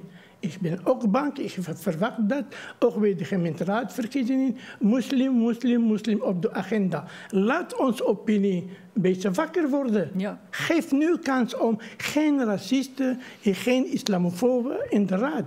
Doe maar wat. Ja. En los van de impact die het heeft op, op, op, op individuen, staat de veiligheid van de islamitische instellingen, zowel onderwijs als moskeeën als culturele instellingen, ook heftig onder druk Zeker. door die verrechtingen van Ja, kijk wat gebeurde laatst keer, heeft Jimmy ook niet genoemd. Hij noemt onderzoek binnen de moskee. Geen onderzoek, wat is spionage binnen de moskee? Ja. Wat is gebeurd de laatste maanden? Wat gebeurt met Haga school? om hoe de criminaliseren de kinderen. Van, dat is de kinderen van terroristen. Kijk naar heel, heel concrete realiteit wat nu is. Ja. Ja. Als ik daarop mag inhaken, dat is inderdaad echt een punt wat je heel erg terugziet. Als je echt deze rapporten gaat lezen, discriminatie, haat en geweld tegen de islamitische gemeenschap en vermeend islamitische gemeenschap is zo bizar hoog, maar je ziet dat gewoon niet terug. Er wordt een eenzijdig beeld gepresenteerd waarin eigenlijk alleen maar wantrouwen wordt opgewekt. Hmm. Als er één islamitisch iemand iets doet, dan wordt dat zo uitgelicht. Maar de honderd. En iemands achtergrond wordt er ook bijgehaald, wat helemaal niet van invloed is op het gedrag wat vertoond wordt. Altijd, ja. Er is bijvoorbeeld vandaag, volgens mij, komt dat uh, uit dat mensen die conducteur zijn, die mogen nu geweld toepassen tegen zwartrijders. En daar is dus specifiek bij vermeld, want vluchtelingen worden ook heel vaak als vermeend islamitische uh, personen aangehaald dat vooral asielzoekers uit veilige landen, die uh, vooral in asielzoekerscentrum Ter Apel zitten, um, onder de vervelende passagiers vallen. Nou, dan denk ik ten eerste, veilige landen. Afghanistan was tot vorig jaar een veilig land. Is al vier jaar het onveiligste land op aarde. Dus ten eerste, wat betekent dat? Um, ten tweede, waarom wordt inderdaad die achtergrond aangehaald? Want als we dat ook zouden doen met witte daders... of met degenen die inderdaad deze, deze vormen van geweld plegen... dat doen we eigenlijk nooit. We praten nooit over het feit dat um, extreemrechtse groepen moskees maandelijks aanvallen, vaker nog. Uh, dat zij afreizen naar bepaalde plekken in Europa om vluchtelingen aan te vallen. Mensen die zich totaal niet kan kunnen verweren. Dat Frontex inderdaad een soort van oorlogs, um, ja, een oorlogsproduct is geworden. Dat het bewapend is tot aan de tanden om mensen aan te vallen. Om migranten op boten terug te duwen. Uh, om mensen gewoon de dood in te jagen. En in plaats daarvan zien we inderdaad dat eenzijdige beeld. Ja. Wat een hele gemarginaliseerde gemeenschap tot dader maakt. Dankjewel voor die toevoeging. Um, Eén momentje af toe. Want um, we hebben ook nog Iptisem van, uh, van Meld Islamofobie. Uh, en voordat ik jou het woord geef, um, denk ik dat het ook goed is voor de mensen thuis om um, meer gevoel te krijgen bij de impact van, van moslimdiscriminatie op, uh, op een individu. En dat wordt nu geïllustreerd door, uh, door twee filmpjes die gemaakt zijn in het kader van de Week tegen Racisme. Ik was in 2012 net klaar met studeren. En op dat moment zit je boordevol energie, je hebt ambitie om de wereld te verbeteren. En uh, was tegelijkertijd ook het hoogtepunt van de crisis. Dus je wist, ja, de banen die, die lagen niet voor het uh, oprapen. Um, maar ja, je, je, hebt passie, je hebt ambitie. Uh, dus je bent aan het solliciteren. En je probeert het, je blijft het proberen. En je ziet op een gegeven moment dat je studiegenoten op een gegeven moment aan het werk zijn. En zelf zit je nog thuis op de bank. En je bent op, op een gegeven moment was ik gewoon ja, honderden sollicitaties verder. En ik dacht, ik ga even een experiment uitvoeren. Ik ga even mijn cv opsturen, tweemaal. Eén keer onder mijn eigen naam en één keer onder een alias. En mijn alias die heette Boudewijn. Boudewijn woonde aan de Gerard Douwstraat en ik zelf, ik woon in Osdorp. Dat is het enige wat ik veranderd had en de foto. En um, ja, ik heb mijn cv's, beide cv's heb ik op een gegeven moment vijf keer opgestuurd. En ik zag op een gegeven moment dat ik uh, ja, gewoon andere antwoorden kreeg onder mijn alias en onder mijn eigen naam. Dus ik zag bijvoorbeeld dat Boudewijn uh, bij twee van de vijf sollicitaties wel werd uitgenodigd en ik onder mijn eigen naam niet. En dat, ja, dat was echt een heftig moment, want je hoort dan de premier praten over je moet jezelf invechten en je hebt jezelf al ingevochten, want je bent al positief bezig, je bent maatschappelijk actief. Uh, ik heb mijn diploma's gehaald, uh, nooit in aanraking gekomen met de politie. En uh, dan nog maak je dit mee. En dan is het geen kwestie van invechten meer. Maar zaken als arbeidsmarktdiscriminatie zorgen ervoor dat het een constante gevecht is. Een constante gevecht voor die gelijke kansen. Ik ben dus 17 jaar oud en ik ben uh, een scholier op het Metis Montessori Lyceum. Sinds kleins word ik er al mee geconfronteerd. Want um, ja, toen ik 12 jaar oud was, begon ik mijn hoofddoek te dragen. En het was, bij, het was een schooldag en uh, ik was onderweg naar huis met mijn vriendin. Uh, toen we uiteindelijk bij de bushalte terecht waren, was er een oude mevrouw naast ons. En ze draaide erom en ze begon ineens tegen ons te schreeuwen. Ze liep op ons af en zei allerlei dingen zoals... Ja, stomme hoofddoekjes, stomme moslims, ga terug naar je eigen land. Ik was daar helemaal in shock. Ik stond helemaal stijf. Maar gelukkig trok mijn vriendin me mee om uiteindelijk daar weg te gaan. Maar ik wou toch wel voor de laatste keer achter mijn rug kijken van wat is hier allemaal gebeurd. En het ergste was nog ook dat er zoveel mensen omheen waren. En niemand die er wat aan deed. Uh, sommigen gingen zelfs lachen. En daarom uh, ben ik voor de week tegen racisme. En dan hoop ik dat mensen zich wel wat laten horen over dit probleem. Ja, dat waren dus uh, twee filmpjes die, die eigenlijk uh, ja, de impact van, van moslimdiscriminatie illustreerden. Ibtisem, dit soort verhalen komen bij jou of bij jullie dagelijks. Wat is, wat is in jouw beleving hetgeen wat, wat de kijkers thuis echt mee moeten krijgen van, van, van het alledaagse racisme wat moslims ervaren? Ben ik al in beeld? Ja. Oh, ik zie mezelf niet op die scherm daarachter bij jullie, dus... Uh... Je kan gewoon tegen mij praten. Oh, oké, okay, ja. nou. Uh, ja, alledaags racisme of alledaags islamofobie. Uh, inderdaad, dat hebben wij met ons werk laten zien in een ja, rapport uit 2019 alweer. En ja, wat we daarbij laten zien is eigenlijk dat mensen het ja, dagelijks meemaken en ook heel vaak. En dat het voor mensen dan ook een haast onmogelijke taak is om, om alles te melden wat ze meemaken. Uh, en daarnaast is het ook zo, wat mensen meemaken, ja, mensen kunnen doen bij een antidiscriminatiebureau of een college voor recht voor de mens of bij het politiebureau, et cetera, et cetera. Maar wat, je ook, wat wij ook in ons werk zien is dat als je te maken krijgt met islamofobie, sommige casussen zijn heel geschikt voor het antidiscriminatiebureau. We hebben ook casussen die heel geschikt zijn voor, om een aangifte tegen te doen en om daar succesvol tegen te zijn. Maar daarnaast heb je ook heel veel andere casussen waar je ook heel veel andere bewegen uh, in kan bewandelen, zoals via social media actie voeren uh, en dergelijke. Dus inderdaad, mensen maken het vaak mee. Maar bij ons bij Meld Islamofobie gaat het ons niet zozeer om de aantallen en de hoeveelheden en of het nou toegenomen is of afgenomen of stabiel is. Want uh, ja, meldingen zijn belangrijk. Hè? Dat laat zien dat, dat, dat, dat, dat, dat er iets gaande is. Maar wat zeggen meldingen eigenlijk? Uh, wat zeggen stijgingen, wat, wat zeggen dalingen? Zeggen stijgingen of dalingen dat moslimdiscriminatie, of hoe je het ook wilt noemen, inderdaad toe, toe of afgenomen is? Of zegt dat meer over het politieke klimaat? Het kan van alles zeggen. Maar waar wij heel erg in geïnteresseerd zijn en hoe wij de meldingen gebruiken, is niet naar de kwantiteit, maar naar de kwaliteit. Ik ga jullie een voorbeeld geven van een casus. Uh, het was uh, 3 maart 2019 en toen was uh, in Den Haag moskee Suna alweer een doelwit geweest van extreem rechts. Pegida, die hadden toen een pop geplaatst wat de profeet moest voorstellen, et cetera, et cetera. Nou, dat kwam in het nieuws. En volgens de statistieken ja, kon je eigenlijk weer een, een, een, een streepje plaatsen van hey, er is weer een moskee een doelwit. En dat was ook niet de eerste keer, want uh, in 2018 uh, was uh, diezelfde moskee zelfs vijf keer het doelwit van extreem rechts. Nou, dat kan je zo in statistieken gaan zetten. Maar dat is voor ons niet interessant. Wat voor ons wel interessant was, was gewoon die hele berichtgeving om die casus en hoe men op die casus reageerde.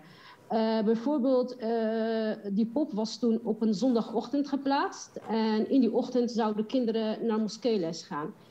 Als je kijkt naar de berichtgeving, waar ging die over? Het ging over het gebouw zelf, over de beveiliging. Uh, dat, ze, dat er aangifte was gedaan en dat er nog gekeken wordt naar ja, hoe, hoe ja, beveilige camera's en dergelijke. Maar niemand die het had over de kinderen zelf of de bezoekers. En hoe zij zich voelden. Uh, en of ze zich veilig voelden. Dus er werd, werd, werd met geen woord gerept over veiligheidsgevoelens van moslims en wat het met mensen doet. Wat kan je hieruit uh, afleiden? Eén, hey, we moeten het vaker gaan hebben over veiligheid. Waarom hebben we het nooit over veiligheid van moslims als het gaat om islamofobie? Uh, dat zie je ook, het gaat, het gaat om, om, racisme. Uh, het gaat nooit over ja, wat, de impact en, en slachtofferschap wordt sowieso als iets heel negatiefs gezien.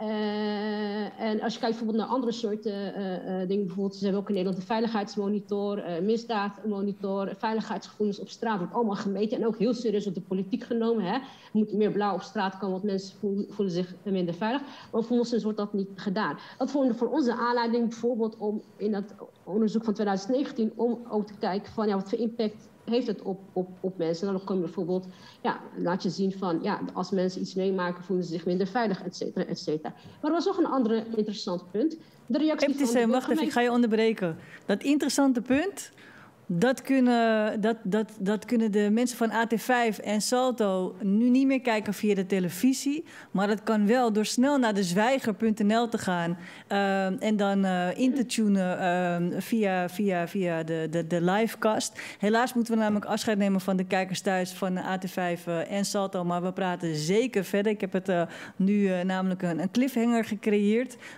waar we ook nog verder over gaan praten is acties, initiatieven en het manifest manifest tegen islamofobie. Uh, maar ook de rol die u thuis zou kunnen vervullen als bondgenoot in de strijd tegen islamofobie. Dank u wel. Ibtisem, ga verder alsjeblieft. Ja, uh, nou, een ander punt wat ook belangrijk was in de berichtgeving is de reactie van de burgemeester. En de burgemeester kwam met een officiële reactie. Het was toen burgemeester Krikke in die tijd. En die vreemde wat daar gebeurde als een meningsverschil. Het was iets in de trant van in Nederland mogen wat elkaar van mening verschillen. Dus met andere woorden, wat daar bij moskee gebeurde, werd gereduceerd als een meningsverschil tussen moskee Sunna en extreem rechts. En dat is voor ons een heel interessant gegeven. Want de strijd tegen islamofobie, hoe je islamofobie ook kan bestrijden, is ook door woorden. En je ziet het ook in de politiek, hè, uh, uh, als daar bepaalde termen vaak herhaald worden, en dan zie je dat ook terug in bijvoorbeeld social media reacties. Bijvoorbeeld kopvoeden, kopvoeden en dat soort termen. En je ziet ook bijvoorbeeld, je ziet, hè, als woorden vaak gebruikt worden, dan worden ze ook op een gegeven moment een soort van onderdeel van ons alledaagse taalgebruik. Dus dat was een heel interessant punt van, hé, hey, wacht eens even, we zien hier, en dat zie je ook vaker als het gaat om racisme in het algemeen uh, en dat zie je bijvoorbeeld ook in het boek van Filomena uh, uh, Asset. over alledaags racisme ook. dat mensen racisme reduceren tot een mening. Van ja, maar ik heb recht op het uit van mijn mening. En ik vind dit en ik vind dat. En dat zien we daar precies, zeggen ook precies daar. En dat is voor ons dan iets van, hé, hey, dit moeten wij aankaarten. We moeten ervoor zorgen dat dit niet ingeburgerd raakt. Dat als mensen het over extreem rechts hebben dat ze het hebben over meningsverschillen. Want extreem rechts is geen meningsverschil. Mm. Extreem rechts, het zijn gewoon groeperingen die gestoeld zijn op racistische ideologie. Dat is wat ze daadwerkelijk zijn. En zo moeten we ze ook gaan noemen. Dat is hoe wij dus de casu, hoe wij naar de meldingen kijken. Dat ze ons iets, iets, iets vertellen over islamofobie, wat het is. En inderdaad, islamofobie gaat niet over een fobie. Ik bedoel, laat dat even duidelijk zijn. Maar hoe wij in ons werk ernaar kijken, is dat het gewoon een... Um, uit verschillende, ja, dat het zich afspeelt op verschillende levels. Dus aan de ene kant is het heel alledaags. Maar aan de andere kant spelen ook politieke discoursen een belangrijke rol. En een andere hele belangrijke is ook de wet uh, en regelgeving. Dankjewel, Iptisem. Uh, hier aan tafel wordt uh, flink meegeknikt. Uh, ja. Hennen? Ja, ik, heb, ik ben het helemaal met, uh, met Iptisem eens. Het zit hem in de woordgebruik en taalgebruik. Ik moest gelijk denken aan rapporten van de AIVD... waarin nagenoeg bondgenoten in het antiracisme... als het gaat om Zwarte Piet en, en anti-zwart racisme... die op dezelfde stapel worden gezet als extreem rechts... onder de, onder de noemer identitair activisme alsof je voor of tegen een identiteit bent. Terwijl we hebben hier een grondwet, we hebben mensenrechten. Je bent of wat, wat ik zie is. Uh, anti-zwart racisme, uh, activisme, dat is gewoon binnen. Dat is eigenlijk het verdedigen van de grondwet. Het is gewoon het verdedigen van het eerste artikel wat we in dit land uh, als fundament. Want dat is het hele ding van de grondwet. Dat het gewoon, we beginnen daar. Uh, terwijl extreem rechts, dat is echt regelrecht tegen artikel 1. En dus dat een AIVD, dat zeg maar de, de ja, een inlichtingendienst van dit land, dan opeens besluit van we gaan dit als identitair activisme noemen. En het is ook veelvuldig in rapportages naar buiten gekomen. Volgens mij was het netwerk of één vandaag. Nou ja, goed, een van die, van die media uh, outlets. Dat, dat ze extreem rechts dan activisme noemen. Dat ik denk, nou sorry, maar dat, dat, dat slaat nergens op. Als je, als, je, als je gaat trainen om mensen die er anders uitzien als jij. Uh, schade aan te doen, te vermoorden, whatever, dat is dan gewoon terrorisme. Precies. Mm -hmm. ja. Waarom is dat identitair activisme? Dat is heel bizar dat het, dat, dat inderdaad heel erg is Niet met elkaar te vergelijken, maar nee. wordt wel op één hoop gegooid. Precies, ja. ja. Inmiddels uh, stromen de, de vragen binnen. Uh, voor, de, voor de mensen thuis die via Zoom inmiddels meekijken... blijf vooral ook de vragen stellen. Die verwerk ik gewoon in dit gesprek. Jamil, dit is een vraag die, die voor jou is... Wat heeft het herkennen van de koloniale geschiedenis te maken met religiefobie, die we nu dagelijks meemaken?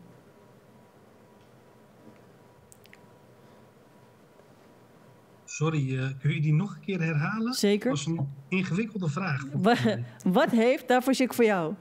Uh, wat, wat heeft het herkennen van de koloniale geschiedenis te maken met religiefobie die we nu dagelijks meemaken? Uh, op die uh, manier. Ik, uh, ik, ik, ik denk dat je sowieso bijvoorbeeld als het gaat in dit geval om anti-moslimracisme, zowel de huidige geopolitieke, maar ook de koloniale orientalistische context van vroeger niet los kan trekken. Mm. En dat dat nog steeds doorcijpelt in ideeën over islam of, uit, of ideeën over moslims of vermeende moslims of de landen die als islamitisch worden gezien of weggezet. Um, denk bijvoorbeeld uh, aan uh, de, even kijken hoe er in de geschiedenis werd gepraat, bijvoorbeeld over de Moren, over de Turken, even een heel klein voorbeeld. Ja, en je ziet dat dat soort ideeën nog steeds doorcijpelen met ook het vermeende idee dat het volk hier wordt uitgedund, de zogenaamde omvolkingstheorieën die daarvan uh, doorspekt uh, zijn. En zelfs van die complottheorieën dat bepaalde elites een uitruil hebben gedaan uh, waarbij ze moslims hier naartoe halen. Ja, je kan, je, weet je, je kan het zo gek niet verzinnen. Dus er zit echt wel een duidelijke verband tussen dat koloniaal en of orientalistisch uh, verleden uh, en uh, anti-moslimracisme vandaag de dag. Um, en ook natuurlijk de huidige geopolitieke context. Volgens mij zei Abdou het zelf. Aan de ene kant doen we ontzettend moeilijk en tegelijkertijd zien we dat ook failliete regimes worden gesteund in, in islamitische landen. Of dat we bijvoorbeeld de Afghaanse Nederlanders wel problematiseren op het moment dat ze vluchten, maar wel zwijgen over het feit dat we ook als land zelf een bijdrage hebben geleverd in de vernietiging van het land. Uh, dus ja, hoe je het went of keert, uh, die twee dingen zijn onlosmakelijk uh, met elkaar verbonden. Um, misschien nog ter aanvulling. Ik was eigenlijk wel getriggerd, misschien ja, off topic. um, ik was wel getriggerd door die twee filmpjes, want ik merkte dat ik een beetje in verzet kwam. En omdat ik dacht van, waarom moeten weer twee moslims voor de miljoenste keren hun zielige verhaal vertellen op camera? Um, waarom is het niet de niet-moslim die zich uitspreekt tegen anti-moslimracisme? Mm -hmm. En waarom is het bijvoorbeeld, uh, de, waarom neem je constant mensen uit niet-dominante groepen en vraag je ze hun uh, emoties tentoon te spreiden voor de camera uh, voor de zoveelste keer in de hoop op een soort van empathie van de dominante groep? Uh, ja, ik weet niet. Ik merk dat ik daar gewoon een beetje klaar mee ben. Ik denk dat het wel een interessant punt is wat je aansnijdt. Want er wordt hier ook uh, wel in meegeknipt, uh, meegeknikt. en er is natuurlijk, we zijn wel begonnen met een, met een presentatie van, van een, een, witte Nederlandse bondgenoot die zichzelf niet islamitisch beschouwt. Uh, maar, ja, zo bedoelde ik het niet uh, richting uh, Roemer, hè, absoluut. Nee, dat is denk ik ook niet zo ervaren. Maar het is wel inderdaad van hoe, wat is de reden dat, dat, dat mensen die slachtoffers zijn of worden gemaakt van, van moslimdiscriminatie, degene die daarover moeten praten in plaats van de mensen die daar een rol in zouden kunnen vervullen om dat te kunnen voorkomen, toch? Abdul, jij begon meteen te lachen. Nee, ik denk, uh, Roemer hoort bij, uh, bij ons. je hebt natuurlijk uh, hand af van, heeft met te maken met de, de, de betrokkenheid. Hè? Als we kijken naar het model van Roemer. Roemer is iemand die bijna 30 jaar bezig met strijd voor mensenrechten, voor uh, uh, steun naar migranten. Ook met hun, hij heeft ook met te maken met uh, de, de, de interesse met te maken met solidariteit, met te maken maar ben, met... Maar ben je het eens met, met, met Jamil die zegt van... Uh, ik, ik, stoor me eigenlijk aan de, aan de, aan de filmpjes? Heeft gelijk, heeft gelijk. Alleen waarom, uh, wanneer wij komen naar die situatie van twee witte Nederlanders gaat vertellen... Hey, wij moeten samen strijd voeren. Op het moment waar Nederlanders, bevolking, activisten neemt ook hun verantwoordelijkheid. Mm-hmm. Wij moeten een kleur bekennen. De strijd tegen islamofobie is geen strijd van moslim. Is strijd van alle democraten, alle mensenrechten. Mensen die willen graag dit land te beschermen en de mensenrechten te beschermen. Is niet onze taak. Het is taak van iedereen. Dat Daarom, ik vind het goed. Maar goed, wij moeten dat... Uh... Ja. Ibtissem, jij wilt ook graag reageren? Ja, ik wil dat reageren. Kijk, ik snap het punt van Jamil wel. Hè? Dat, we, dat, het, dat het inderdaad fijn is om te horen hè, van de andere kant. En dat mensen het uh, ja, veroordelen en uh, er iets aan willen doen. Want dat wordt wel van moslims wel continu gevraagd als er ergens iets gebeurt. Maar aan de andere kant uh, stoor ik mezelf niet aan dit soort verhalen. En ik vind ook geen zinnige verhalen, want dat is gewoon de realiteit. En blijkbaar moeten we dat gewoon blijven herhalen. Uh, ja, hoe irritant het ook soms misschien kan ervaren kan worden. Maar blijkbaar is dat, is dat gewoon nodig. Want uh, blijkbaar, uh, het is eigenlijk heel triest dat je in Nederland anno 2021 discriminatie, racisme eigenlijk continu in gezicht moet geven ja. van wat het precies is. Uh, en ik denk dat, want laten we ook even eerlijk zijn, want uh, als het gaat over racisme en dergelijke, je kan op allerlei verschillende niveaus uh, gaan praten. Maar ik denk niet dat als je op hele abstracte termen erover gaat praten, dat dat mm -hmm. doordringt. Ik denk als mensen, we moeten ook, ja, dat, dat, die, die, mensen zijn er ook. Er zijn ook heel veel mensen die zich helemaal niet bezighouden met dit thema. Maar zodra zij een jonge man of een jonge vrouw zien waarin ze zich toch wel een beetje in herkennen, hè, nou ik ben ook jong, ik ben ook 17 dat dat misschien wel iets doet met de mensen. Het is inderdaad, eigenlijk heb je dit liever niet. Maar blijkbaar zitten wij in zo'n zo zo zo verschrikkelijke ja, situatie. Dat dit blijkbaar toch wel nodig is. Ik wil ook wel kracht bijzetten wat je zegt. Want het is inderdaad, het zijn helemaal geen zielige verhalen. Het zijn juist mensen die eigenlijk heel moedig zijn mm -hmm. om een uh, nare ervaring uh, op te rakelen. En dat te delen in de hoop dat het mensen bewust maakt met het feit dat dit gewoon uh, een halt toegeroepen moet worden. Mm -hmm. Ja. ja. En Dilab. Als ik daar nog één ding aan mag toevoegen. Ik denk dat wat wij echt heel vaak missen in dit debat is dat islamitische vrouwen vooral in het bijzonder, daar wordt zoveel over gepraat. En ze krijgen veel te weinig de autonomie om zichzelf uit te spreken. En wat ik ook wel heel tekenend vond voor dat meisje, was dat ze vertelde van, ze was 12 jaar oud, staat daar met een hoofddoek, wordt enorm aangevallen, maar ze zat daar nog steeds met een hoofddoek. En dat is echt een, een het toonbeeld van sterke identiteit durven aanhouden en durven staan voor waar je in gelooft. En dat wij te vaak invullen wat een hoofddoek betekent, hoe deze vrouwen uh, qua identiteit of wat dan ook, dat wordt continu voor hun gedicteerd. Ik denk eigenlijk dat zij veel vaker het podium zouden moeten krijgen. Nou, Henne, jij bent lid van Speak. Uh, je zei net al de slogan: uh, mijn, mijn lijf is niet uh, jouw strijdtoneel. Ja, ik ben niet jouw strijdtoneel. Of ik ben niet jouw strijdtoneel. Kan, Ja. jij, kan je vertellen wat, wat Speak is voor de mensen die, dat, die daar niet mee bekend zijn? Uh, Speak is een moslimvrouwenorganisatie die zich um, uh, inzet voor de um, zelfbeschikkingsrechten van moslimvrouwen. Um, en tegen antiracisme en is, ja, moslimdiscriminatie, islamofobie in brede zin. dus we proberen op allerlei manieren inzichten te, te, te, ja, met onderzoeken in de beeld, over de beeldvorming bijvoorbeeld over uh, hoe islamofobie een probleem is voor moslimvrouwen, op welke manier dat zich uit. Um, um, Ibtissam is natuurlijk ook een van de oprichters uh, uh, van, van Speak. moet ik wel even erbij benoemen, dus ik vind het een beetje gek om, om hierover te praten. Maar goed. Um, en wat we doen is eigenlijk be bewustwording creëren en ook uh, elkaar ondersteunen om uh, inderdaad gewoon te zijn wie we zijn. En ook niet als een soort van, hè, wat, wat je terecht zegt, uh, er wordt over vrouwen gesproken, tot vrouwen gesproken, maar niet met vrouwen gesproken. Dat hebben we natuurlijk afgelopen twee weken. En dat vond ik echt bijzonder. Het is heel triest, maar ik vind het ook wel hilarisch. Hè, dat mensen dan allerlei soorten um, beledigingen en mensonterende termen gebruiken. en eigenlijk moslimvrouwen een soort van uh, ja, gevangen houden in een soort van oud beeld over je hebt geen vrijheid en je hebt geen, geen uh, um, zelfbeschikkingsrecht, want je wordt mm -hmm. onderdrukt. maar ondertussen wordt gezegd, met de meeste beledigingen die erbij komen. En dan wordt gezegd, ja nee, maar uh, uh, ik ben voor hun vrijheid. Dat ik denk, ja, en geen, enkel, geen enkel veranderd managementboek dat ik heb gelezen of gezien... Mm -hmm. staat er dat je met beledigingen een uh, positieve verandering teweeg kan brengen. Dus het op alle manieren klopt het niet. En dan wordt er natuurlijk weer een heel gesprek gevoerd. Plus ze stellen je keuzevrijheid ter discussie. Ja, tuurlijk. Ja.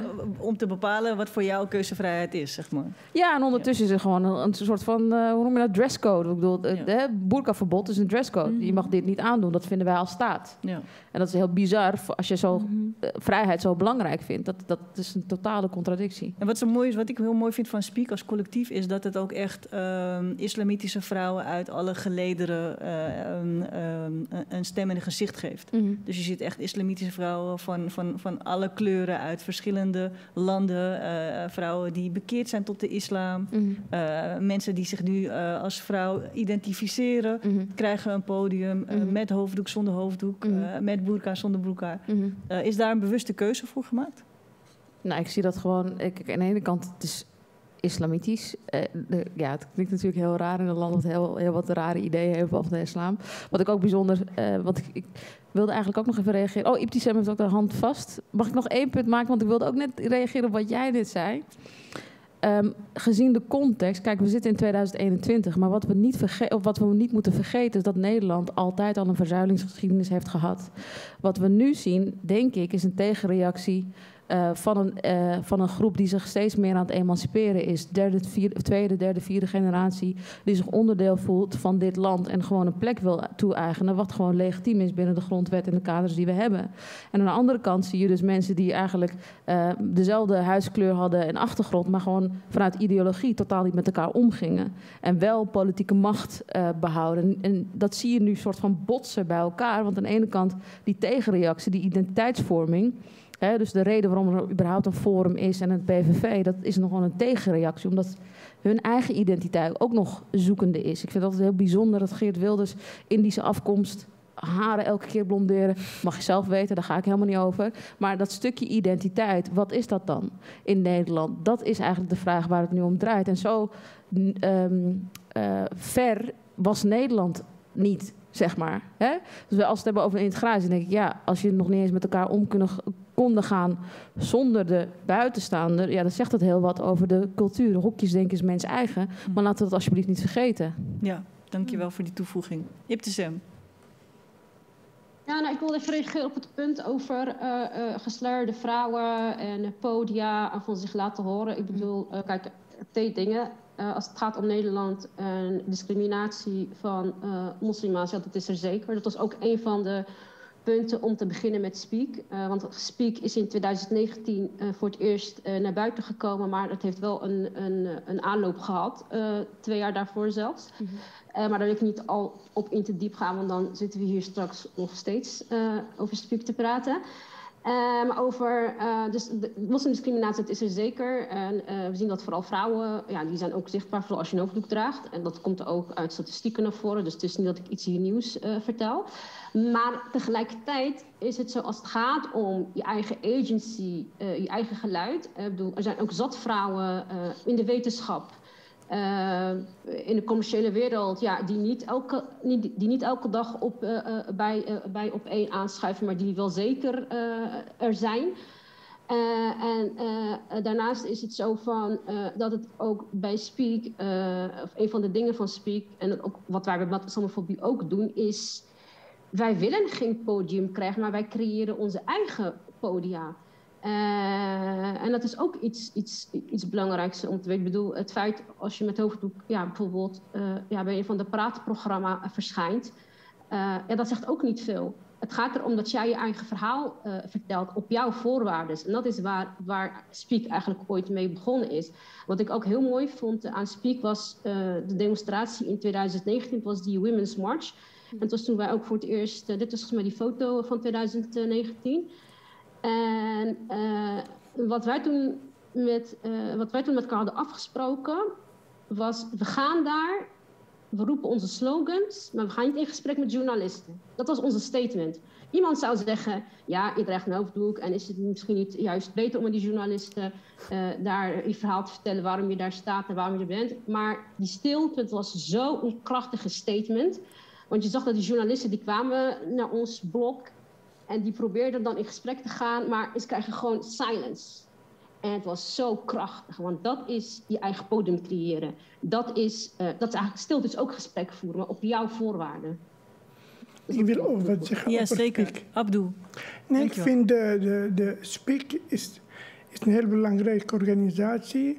Zij laten zien de diversiteit binnen de, de, de, de moslim, eh, eh, moslimgemeenschap. Is geen één kant, is verschillen. Dat is het beeld van, van Speak. Tweede, ik ben echt trots met Speak, omdat het is, is een poging van bepaalde studenten, jongens, progressief, wie durven om, uh, dat is ons plaats, dat is ons gezegd, tegen de zogenoemd paternalisme van Nederlanders. Wie denkt altijd vrouwen, zielig, armen, onderdrukt, zij kan niet. Dat is Speak, dat is het woord van de, van de vrouwen. Uh, uh, zeg wat. Maar ondanks dat, wij kunnen constateren, de media zoekt nog steeds niet spreken of die vrouwen, wie is actiever, maar zocht altijd de bepaalde verhalen van een fanatiek of traditioneel vrouwen alleen. En daarom Speak speelt een heel belangrijke rol in dit strijd tegen islamofobie.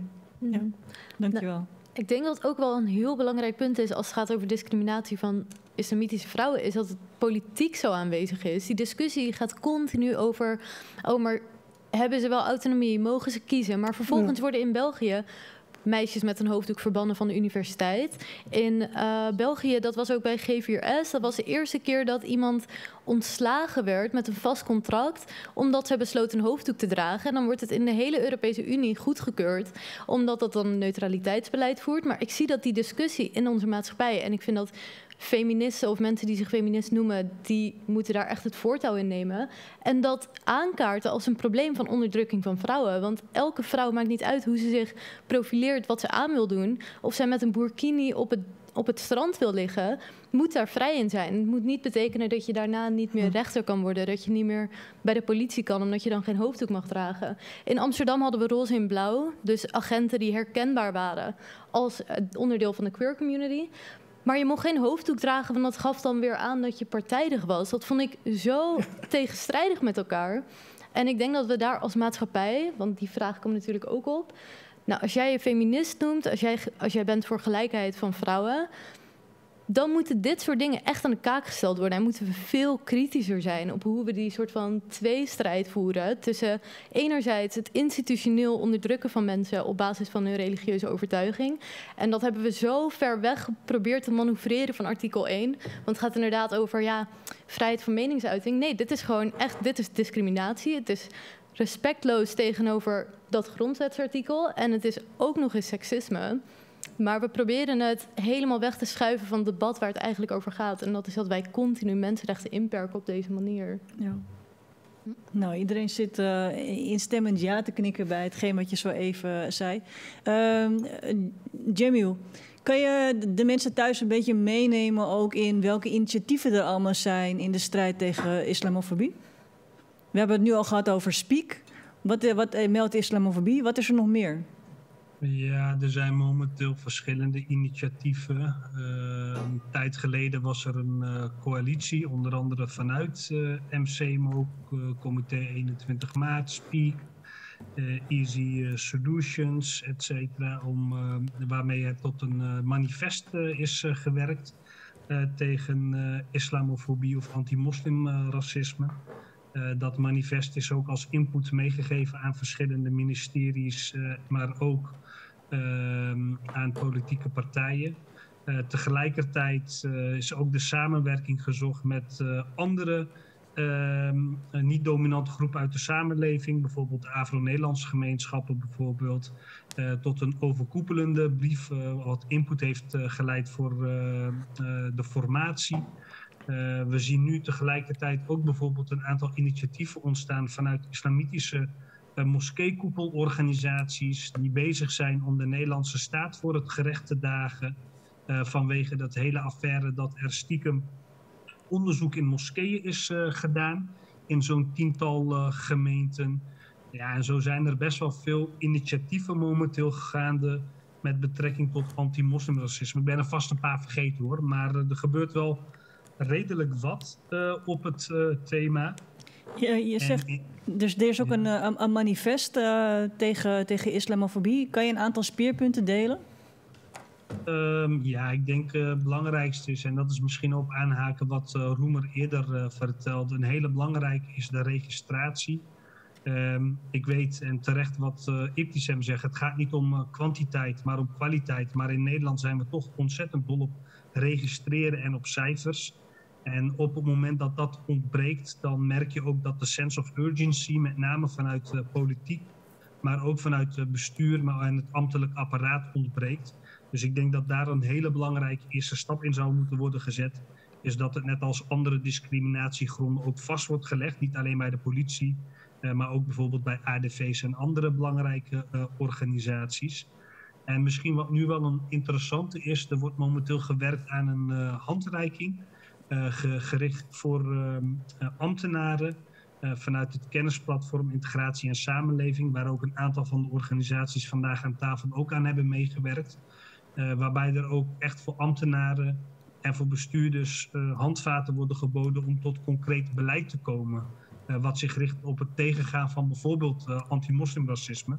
En dat zie je dat dat op dit, op dit moment in zijn totaliteit ontbreekt er is eigenlijk geen één gemeente in Nederland die momenteel ook uh, op dat moment, uh, ja, die op een gedegen manier echt beleid voert om moslimdiscriminatie uh, of anti-moslimracisme tegen te gaan. Ja, dankjewel. Abdul. Ik wil alleen een paar toevoegingen over het verhaal van Jamil. Is uh, één, wij, wij, wij kunnen zeggen, ondanks weinig belangstelling van ons Nederlandse collega's of Nederlandse organisaties. Is een veel ontwikkeling binnen de beweging. We hebben gezien, wat heeft uh, Jimir gezegd, we hebben uh, initiatieven uh, rond de manifest tegen islamofobie. Is een, de eerste keer we hebben vijf belangrijke organisaties die bezig met islamofobie gebundeld rond dit manifest. En dit manifest is getekend door honderden organisaties. Maar de initiatiefnemers was Easy Solution, Meld Islamofobie, Speak en Collectief tegen Islamofobie. Dat is een begin. De tweede stap, wat heeft ook Jimil genoemd, is de open brief aan de formateur daar is was ook een binding van groepen wie actief in de kader van islamofobie, groepen wie actief rond de zwart manifesten, groepen wie actief in het gebied van uh, Aziatische migranten. is ongeveer 160 organisaties die hebben gebundeld op een heel duidelijke uh, manifest. In die manifest neemt mee de verschillende specifiek manifest, moslims, zwarten, LGBT, uh, Aziatisch, plus een bepaald concreter aanbevelingen eisen. In uh, 26 januari we gaan presenteren die open brief is bedoeld normaal voor de formateur wie gaat de regering vormen. Gelukkig, we hebben net gehoord, de regering komt volgende week. Is goede gelegenheid of samen, we gaan naar nieuw sport om dit, uh, ons open brief met ons eisen, met ons verwachting rond de regering aan de regering te, te aanbieden. Dat is uh, een soort pleidoyer, een soort uh, concreet behoeften. Wij willen wat veranderen en wij verwachten wat gaat uit de regering komen. Gelukkig, we hebben net gehoord van die, de nieuwe coördinateur uh, tegen uh, uh, discriminatie. De nationale coördinator nationale tegen racisme en discriminatie. hij heeft gekozen nu een bepaalde prioriteit in de, de, de aanpak. Is met name moslimdiscriminatie, zwart racisme, plus intersectionaliteit, plus accenten rond de werkgelegenheid. Goed, dat is een goede poging. Alleen wij hopen, hij gaat niet alleen een soort postbus worden, maar meer dynamieker. Omdat uh, dynamieker. En wij gaan hem zien 26 januari met dit brief uh, te handelen. De derde uh, positief ontwikkeling is met name, we hebben nu in Amsterdam, we zitten nu in het debat van Samen tegen Racisme, is ook een heel concreet samenwerking in Amsterdam door de Alliantie tegen Racisme, waar zit Jodische organisatie, jongeren, niet die traditioneel, maar echt actief progressief Joodse organisatie. Ze ziet ook de, uh, de, de collectief tegen islamofobie, ziet de Zwarte uh, Manifest, je ziet ook de, de, de debatcentrum Pakhout de Zwijger. Met dit alliantie, wij proberen ook tot hoever ook een, een, een serieuze samenwerking in Amsterdam, maar ook concretiseren ons eisen, ons uh, zeg maar, voorstellen richting de gemeenteraad, maar ook richting de bevolking in het algemeen. Daarom we gaan lanceren voor volgend jaar een Prinshof-conferentie. Prinshof-conferentie betekent is een debat, een discussie van alle Amsterdammers. Niet de migranten alleen, van alle Amsterdammers om te praten. Hoe kunnen wij Amsterdam nul racisme? Dat is één initiatief heel, heel... Een soort van goal zero visie moet er liggen. Bijvoorbeeld, ja. heel belangrijk. En daarna, ik denk... De positieve kant is de, uit de beweging van de slachtoffer zelf begint nu te bewegen. Mm. wij, wij hebben geen paternalisme nodig, maar wij hebben partnerschap, mm. partenariat nodig. En dat is ons oproep. Dus geen paternal, paternalisme, maar partnerschap. Partnerschap. Mooi gezegd. Vroeger, jullie zeggen altijd, ja, de moslim, de zwarte is niet actiever, slapend mensen, bla bla bla. Nu, die mensen is wakker geworden. Mm -hmm gelukkig gebundeld, verbindt ook bij elkaar. En nu, waar is ons partner? Ja. Om dit land zonder racisme uh, te zijn. Abdul, ik onderbreek je. Ik onderbreek je. Belangrijk punt mag je zo toelichten, want Ibtisem die zit te zwaaien met de hand.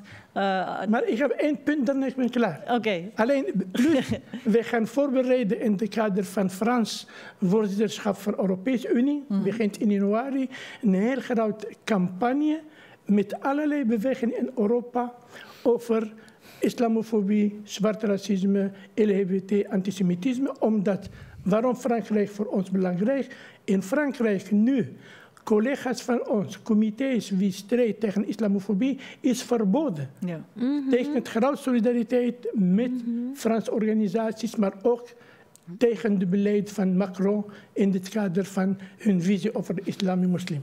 Ja. Mooi, dankjewel. Ik kom zo nog bij jou terug. Uh, Ibtisem, je, je, je staat zo te zwaaien, je, uh, je wilt graag wat aanvullen. Of reageren. Ja, ik wilde graag uh, reageren en aanhaken op het punt van Jimmy over registreren. Over van, ja, dat nou, Nederland eenmaal een land is van registreren. Dus je moet wel laten zien hoe erg of hoe groot het probleem is. Maar dan is mijn punt van hoe lang moeten we dan blijven registreren? Uh, ik bedoel, antidiscriminatiebureaus bijvoorbeeld, die zijn in de jaren tachtig uh, opgericht. En er wordt nu al, volgens mij, ja, bijna al 40 jaar uh, bestaan ze al, of gaan richting 40 jaar. En we weten al, discriminatie is er. Dat wordt nu al tig jaren, wordt dat keer op keer, keer op keer, keer op keer, keer op laten zien. En uh, het gaat ook voor moslims. Dus, dus hoe lang moeten we blijven registreren? En ik heb het idee dat de nadruk op registreren en uh, hè, dat het eigenlijk vooral het tijdtrekken is. Want racisme, discriminatie, islamofobie gaat uiteindelijk om mensenlevens.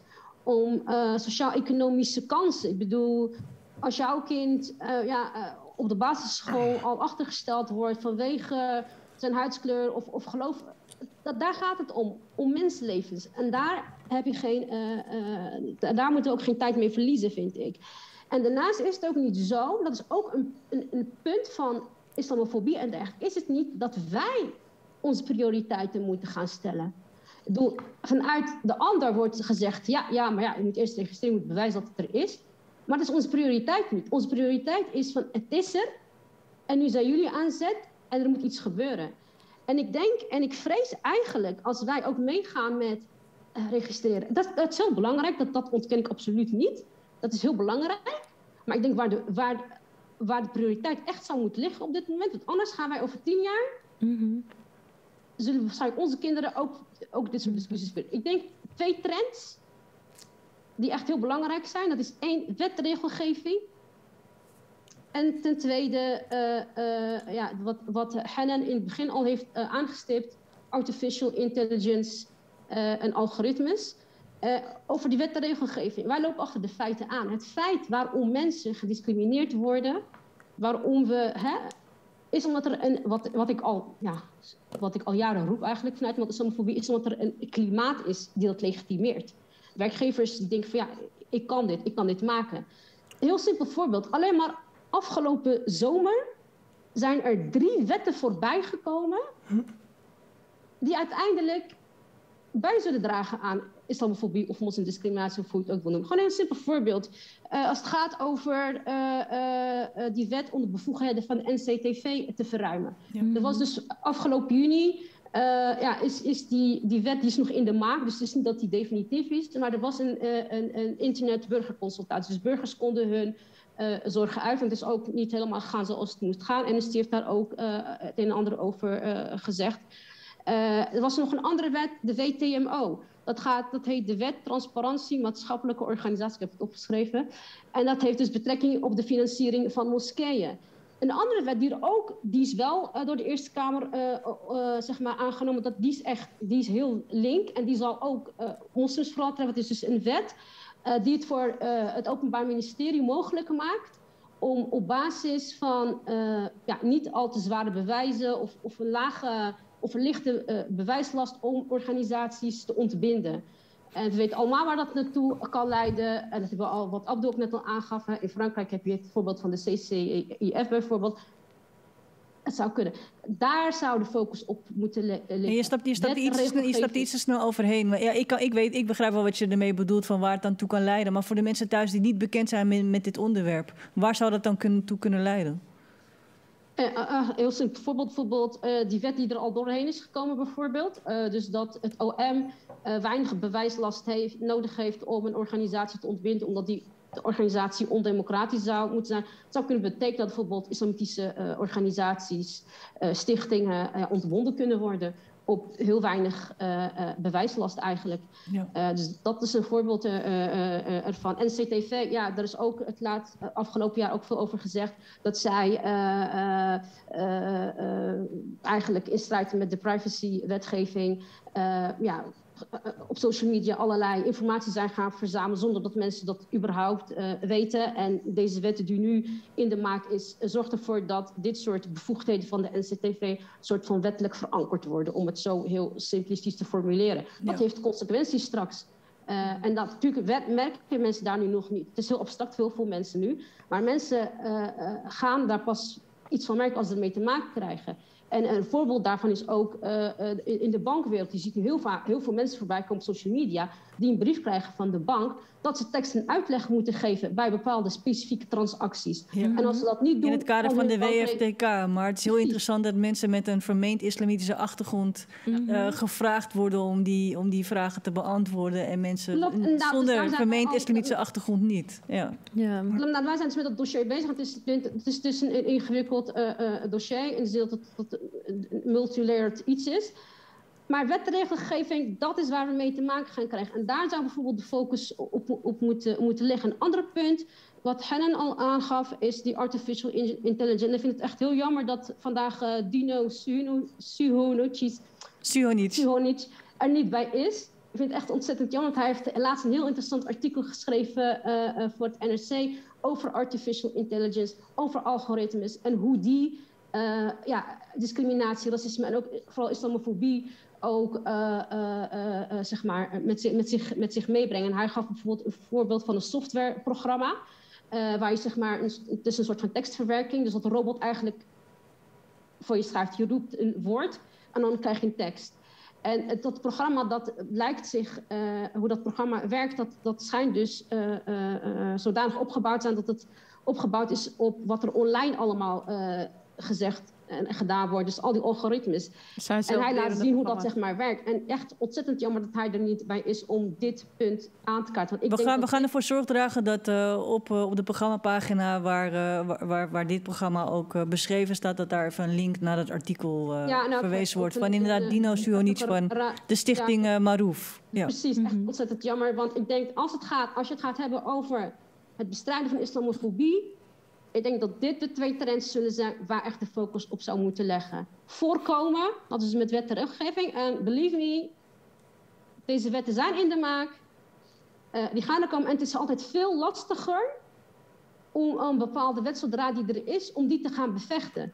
Dat is veel lastiger dan het, het voorkomen. Ik denk, als, het zou echt daar ook moeten zitten. En die algoritmes. Ik bedoel, zag het ook met de Belastingdienst, die toeslagen-schandaal. Ja. Wie, wie, weet wat voor schandalen we nog meer straks zullen krijgen op basis van uh, algoritmes. Ja, en de etnisch geladen risicoprofielen die daarmee gepaard ging. Precies. Dankjewel, Eptisem. Ik kom zo meteen nog bij jou. Ik kom zo meteen nog bij jou terug. Anders gaan wij over tien jaar gaan we het weer hebben over ja. registratie, meldingen, toegenomen, afgenomen, wel afgenomen, niet afgenomen. Nee, we gaan het, we gaan het daar niet over tien jaar nog een keertje over hebben, want dan, dan is het gewoon opgelost. Toch, Hennen? Nou, doe het best, maar goed. Nilo. Nou, ik denk dat wat echt wel belangrijk is om mee te nemen. Vanuit de politiek hebben wij ook wel voorstellen gedaan om uh, moslimhaat en aanvallen te bestrijden tegen moskees bijvoorbeeld. Maar er is gewoon geen draagvlak. En die solidariteit waar jullie het net over hebben, wat ik echt heel mooi vind om te horen, is keihard nodig. Want inderdaad, die vrijheden waar we het continu over hebben, heel vaak als mensen die aanhalen, dan zeg ik: heb je voor, de, voor of tegen de sleepwet gestemd? En het feit dat moslims zo met wantrouwen worden aangekaart in media en zo worden geframed, is echt heel belangrijk. Want mensen ja, die kijken er echt niet van op dat terrorismebestrijding eigenlijk heel veel onschuldige mensen, niet alleen in Nederland, maar de war on terror. Ik bedoel, in Nederland alleen al word je met een aanwijzing opgepakt. Mhm. En dat is iets heel anders dan het kenmerk verdachte, waar gewoon echt grondig bewijs voor geleverd moet worden. En daarvoor worden jouw, je, je rechten zo grondig ingeperkt. En dat gebeurt op zoveel vlakken moslims zijn gewoon in het algemeen echt een derde rangs burger gemaakt. En wij zijn dat allemaal gaan accepteren omdat we zo vaak te horen hebben gekregen van... oh, maar dit is nodig, want terrorisme is en zo. Maar terrorisme is veel breder dan de kleine soort van het kleine spectrum wat wij op de media zien. Extreem rechts is een enorme bron van terreur. Maar elke keer als wij ook aandragen doen om daar iets tegen te doen, dan worden die ook niet meegenomen. Dus het is ook echt zo een belangrijk onderdeel voor de samenleving om daar veel meer op te letten, je daartegen uit te spreken. Zo op elk platform wat je, wat je maar voorgeschoteld krijgt. Omdat dat voor die politieke draagkracht kan zorgen. Dankjewel. In, in het kader van, van bondgenootschap, de, er komen een aantal vragen ook binnen via de, via de chat. Mm. Uh, kan een van jullie een mooi voorbeeld geven van een, uh, van een initiatief tegen islamofobie... wat bestaat uit bondgenootschap van moslims en niet-moslims? Ik denk uh, de collectief tegen islamofobie is een organisatie waar zit moslim en niet-moslims zit veel Nederlanders, Surinamers, Marokkanen, Turken. Eh, gebaseerd over, moet niet eerst moslim om lid te worden, maar met name mensenrechten, activisten, wie gelooft aan de referentiekader mensenrechten, respect van de verschillen, en ook tegen elke vorm van discriminatie en racisme. Wij willen niet alleen mensen bij ons wie is alleen tegen islamofobie, voorwaarden tegen islamofobie, tegen antisemitisme, tegen LGBT. Tegen elke vorm van uitsluiting. Tegen elke vorm van uitsluiting. Je loopt langzaam, langzaam. En wat, doet, en wat doet het collectief dan? Zeg maar, je, je kan je daarbij aansluiten en, en, en wat doen jullie dan? Wij hebben bezig met verschillende uh, initiatieven. Wij proberen bijeenkomsten te organiseren rond bepaald beeldvorming. Wij zijn nu bezig met een heel grote campagne tegen haatzaaien. Wij proberen ook die instituties antidiscriminatiebureau, politie, uh, met hun praten over de belemmering wat, uh, wat nu zit. Wij proberen ook uh, training, specifiek training te organiseren, maar ook concreet acties. We hebben bijvoorbeeld 21 september, de Europese Dag tegen Islamofobie, waar wij proberen echt manifestaties te organiseren. Wij roepen iedereen die wil graag meedoen om welkom. Wij zijn nu trouwens bezig met uh, uh, met het bureau, Sassa-bureau, waar werkt Roemer. We hebben nu heel breder uh, onderzoek gedaan in de opdracht van de gemeente Amsterdam. Of wat voelt de moslimgemeenschap in Amsterdam over racisme, discriminatie, allerlei nationaliteiten, studenten. Ja, Wij zijn bezig nu om de resultaten, de aanbevelingen te presenteren aan de gemeenteraad. En wij hopen voor de verkiezingen. Wij zijn ook nu bezig met een campagne rond gemeenteraadverkiezingen waar wij moeten actie voeren met één leuzen belangrijk, duidelijk beleid met eisen, geen racisten in de raad. En kunnen mensen zich daar, kunnen mensen zich daar aansluiten? Kunnen ze, kunnen ze daarin helpen? Kunnen aansluiten, helpen. We hebben echt hulp nodig met een idee. We hebben hulp van partners mensen die bewust willen graag wat doen. En het is het collectief tegen islamofobie en discriminatie. Ja. En als je dat gewoon googelt, dan kom je op alle social media kanalen. Zeker, zeker. Dankjewel, Abdou. Plus, uh, plus één laatste punt. Wij ook nu bezig, wij hopen een heel grote demonstratie. We zijn nu bezig met de jaarlijke demonstratie tegen racisme, 19 maart. Helder. We hopen in heel Europa in dit dag gaat demonstreren. We hopen, mm -hmm. daar is de rol van iedereen om mee te doen aan die landelijke demonstratie. Dankjewel. Ja. Uh, Nilab, jij gaf zelf al aan, je bent uh, vermeend islamitisch. Mm -hmm. uh, welke, welke adviezen zou jij kunnen geven aan mensen die graag bondgenoot zouden willen zijn in de strijd tegen islamofobie? Dat is een hele goeie. Ik denk dat wat ik vooral heel schrikwekkend vind, is dat heel veel activisten op heel veel verschillende vlakken dezelfde vooroordelen um, reflecteren die we continu horen. Mm. Mensen lezen zich echt niet genoeg in. Ze spreken er niet genoeg over met de mensen die hier een mening over zouden moeten hebben of hierover zouden moeten voorlichten. En ze zien de ernst niet in van deze situatie. Ik denk dat dat misschien ook wel een voordeel is van vermeend islamitisch zijn. Het is heel aanwezig en het is heel, heel erg verbonden met bijvoorbeeld dat ik ook um, een vluchtelingenachtergrond heb. Maar anders kan het een heel onzichtbaar onderwerp worden, omdat wij best wel afhankelijk zijn geworden van media en ons daar heel erg door laten leiden. En dat daarin een heel eenzijdig beeld wordt gevormd. En ik denk dat de mensen die zichzelf kritisch noemen en die zeggen dat ze ergens voor staan voor een gelijkwaardige samenleving, die moeten zich gewoon echt actief gaan inlezen op dit onderwerp. En zorgen dat als zij een platform kunnen bieden, dat zij de juiste stemmen. En waar zouden. Hè, er zijn een aantal mensen die ook die, die kijken naar dit programma en die denken: oké, okay, ik wil gewoon meer informatie. Uh, over inderdaad uh, de strijd tegen islamofobie. Of hoe zit het dan werkelijk met islamitische gemeenschappen en, en, en, en de vooroordelen die bestaan? Heb je tips, leestips, uh, luistertips? Kijktips? Dat is een hele goeie. Um, ja, ik vond één. Ik ben dan wel. Ja, ik heb natuurlijk een bepaalde visie. Ik luister vaak hele politieke dingen. Ik vond. Uh, er is een podcast van The Daily. waarin een FBI-agent zich uitspreekt over hoe de afgelopen tien jaar zijn werk is veranderd. of de afgelopen twintig jaar. Um, en hoe hij. Um, ja, onschuldige moslims is gaan uh, bespioneren. Dat vond ik een heel baanbrekende podcast, omdat het toonde hoe er grondrechten ingeperkt kunnen worden. En dat de publieke opinie op dat gebied gewoon doodstil is. Want het, loopt op naar een climax. Hij ging documenten delen. Hij dacht van ik ga gewoon zorgen dat ik uh, echt heel de samenleving wakker schud. En die dingen kwamen naar buiten. En het interesseerde niemand iets. En dat is echt heel schrijnend. Ik denk sowieso alle mensen die hier aan tafel zitten, volg ze op Instagram. Um, ja, ik heb zelf activisten die ik vaak op Instagram uh, probeer te, uh, aan, te kaart, aan te dragen. Dat is Nihal Esma Altmis. Zij is een hele goede activiste die heel veel informatie verspreidt. En dat ook van een, vanuit een hele intersectionele blik doet. Ehm, ja, maar ik zou zelf zeggen, ga gewoon actief op zoek. Er zijn zoveel bronnen. Sowieso Ewout Butter en uh, Roemer van Oort. Hun uh, monitor moslimdiscriminatie is vier keer uitgekomen. Op Europees niveau zijn er verschillende agentschappen... die hier steeds rapporten over uitbrengen. Politieke actie blijft echt heel erg uit. Die rapporten zijn echt schrijnend. Mhm. Enorm hoge cijfers van vrouwen en mannen en kinderen... die uh, discriminatie en haat ervaren. Heel weinig politieke actie. Uh, dat zie je ook terug in de raad. Want ja, in de gemeenteraad, het wordt vaak aangehaald. Moskeeën worden ook in Amsterdam vaak aangevallen. Maar er wordt gewoon heel weinig actie ondernomen. Um, dus ja, doe gewoon wat je kan. Dank je. Uh, Volgens mij is dat al, kunnen mensen daar al uh, heel goed mee uit, uit de voeten. En een, een, documentaire die jullie zeker moeten kijken. Ik heb uh, daar wel eens gesprekken voor, voor gemodereerd, nagesprekken. Is The Feeling of Being Watched. En dat is een combinatie van algoritmes, spionage, vanuit het veiligheidsdenken en de wijze waarop moslimgemeenschappen echt geïntimideerd worden. Het is echt, echt de moeite waard. Um, Hennen, wil jij nog uh, iets kwijt uh, in het kader van dit programma en de strijd tegen islamofobie?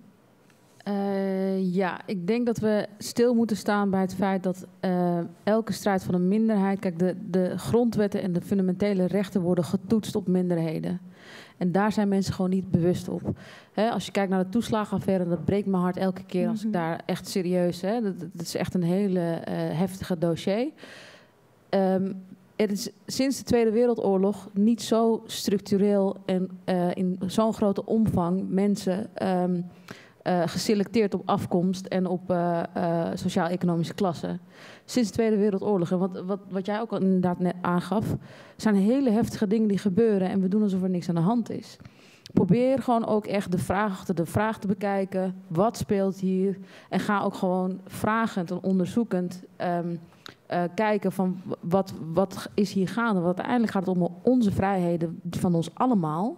He, want mensen worden boos over de QR-code en alles wat er, wat er speelt. Wat ik ook wel kan begrijpen, is een hele andere discussie. Maar het gaat erom, wees gewoon echt scherp dat dit gaat over alle fundamentele rechten. En niet alleen wanneer het niet comfortabel is voor jou. Mm -hmm. Want jouw comfortabele situatie, dat gaat ten koste van een ander als jij dus niet waakzaam bent voor je medeburger.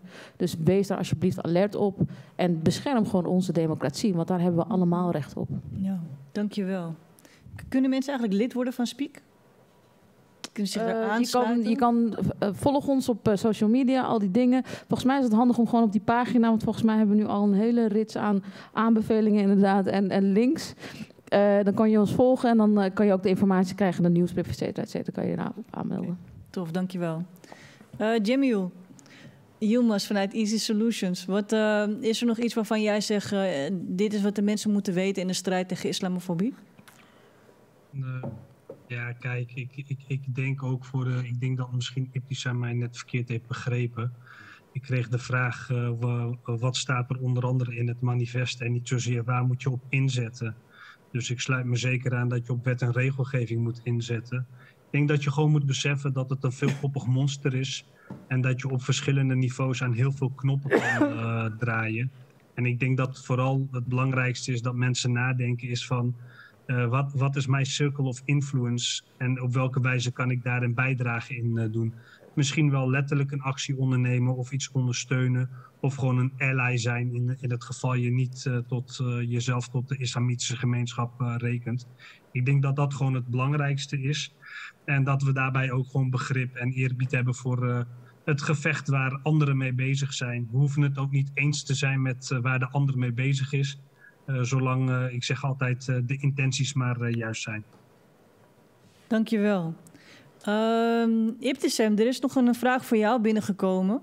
Uh, gezien veel mensen niet bereid zijn te melden, eh, zijn er nog andere belangrijke strategieën voor het tegengaan van islamofobie in, in uh, hun alledaags leven? Ja, dat is er zeker. Het, is echt heel afhankelijk van wat mensen meemaken. ik bedoel, kijk, je hoeft niet te melden, maar stel voor een heel, heel simpel voorbeeld. Als iets op het werk gebeurt, um, en dan zijn bijvoorbeeld ja, bespreekbaar kunnen maken uh, uh, bij een vertrouwenspersoon. Uh, of wat ook, wat is ook een tip voor, voor mensen als mensen zich als ja, mensen die zelf niet islamitisch zijn, maar die zich wel bekommeren om islamofobie of de strijd daar tegen. dat is ook een tip. dat je ook je collega's daarin in kan steunen, bij kan staan als ze iets meemaken en dergelijke. Ja, dat hangt er erg af wat mensen meemaken. Ik bedoel, ja, soms helpt ook een social media actie bijvoorbeeld. Uh, uh, bijvoorbeeld wat laatst met, uh, ja, ik wil ze niet noemen, gebeurd is. Ze hebben te veel aandacht gehad. you know, je weet wel wat. Dus daar zag je echt de kracht van social media en, en, en, boycotts, hoe dat, hoe dat werkt. Dus het is echt heel afhankelijk van wat je meemaakt, wat de aard daarvan is en, en er is veel mogelijk. Dat is, dat is uh, één ding. En wat ik uh, als laatste boodschap mee wil geven, ook voor het antiracismeveld. Um, uh, ik heb vaak het idee dat islamofobie zodanig genormaliseerd is in Nederland. -hmm. Ook de strijd daartegen zoiets van ja, waar in het begin ook een beetje over ging. Hè? Nou ja, religie, kritiek op religie, moet kunnen, dit en dat. Dat dat zeg maar echt zo diep geworteld is dat je het ook zelfs in het antiracismeveld ook ziet. Mm. Terwijl mensen beseffen, mensen beseffen het niet, maar beseffen je wel dat je in Nederland wet en regelgeving hebt gewoon die echt of direct gericht zijn op moslims. Denk aan het boerkaverbod bijvoorbeeld. Mm -hmm of die indirect vooral moslims uh, targeten. Dus wetten die voortkomen uit bepaalde politieke debatten in het kader van veiligheid, antiradicalisering. Gewoon wet en. Imagine that. Wet en regelgeving in een land als Nederland, anno 2021.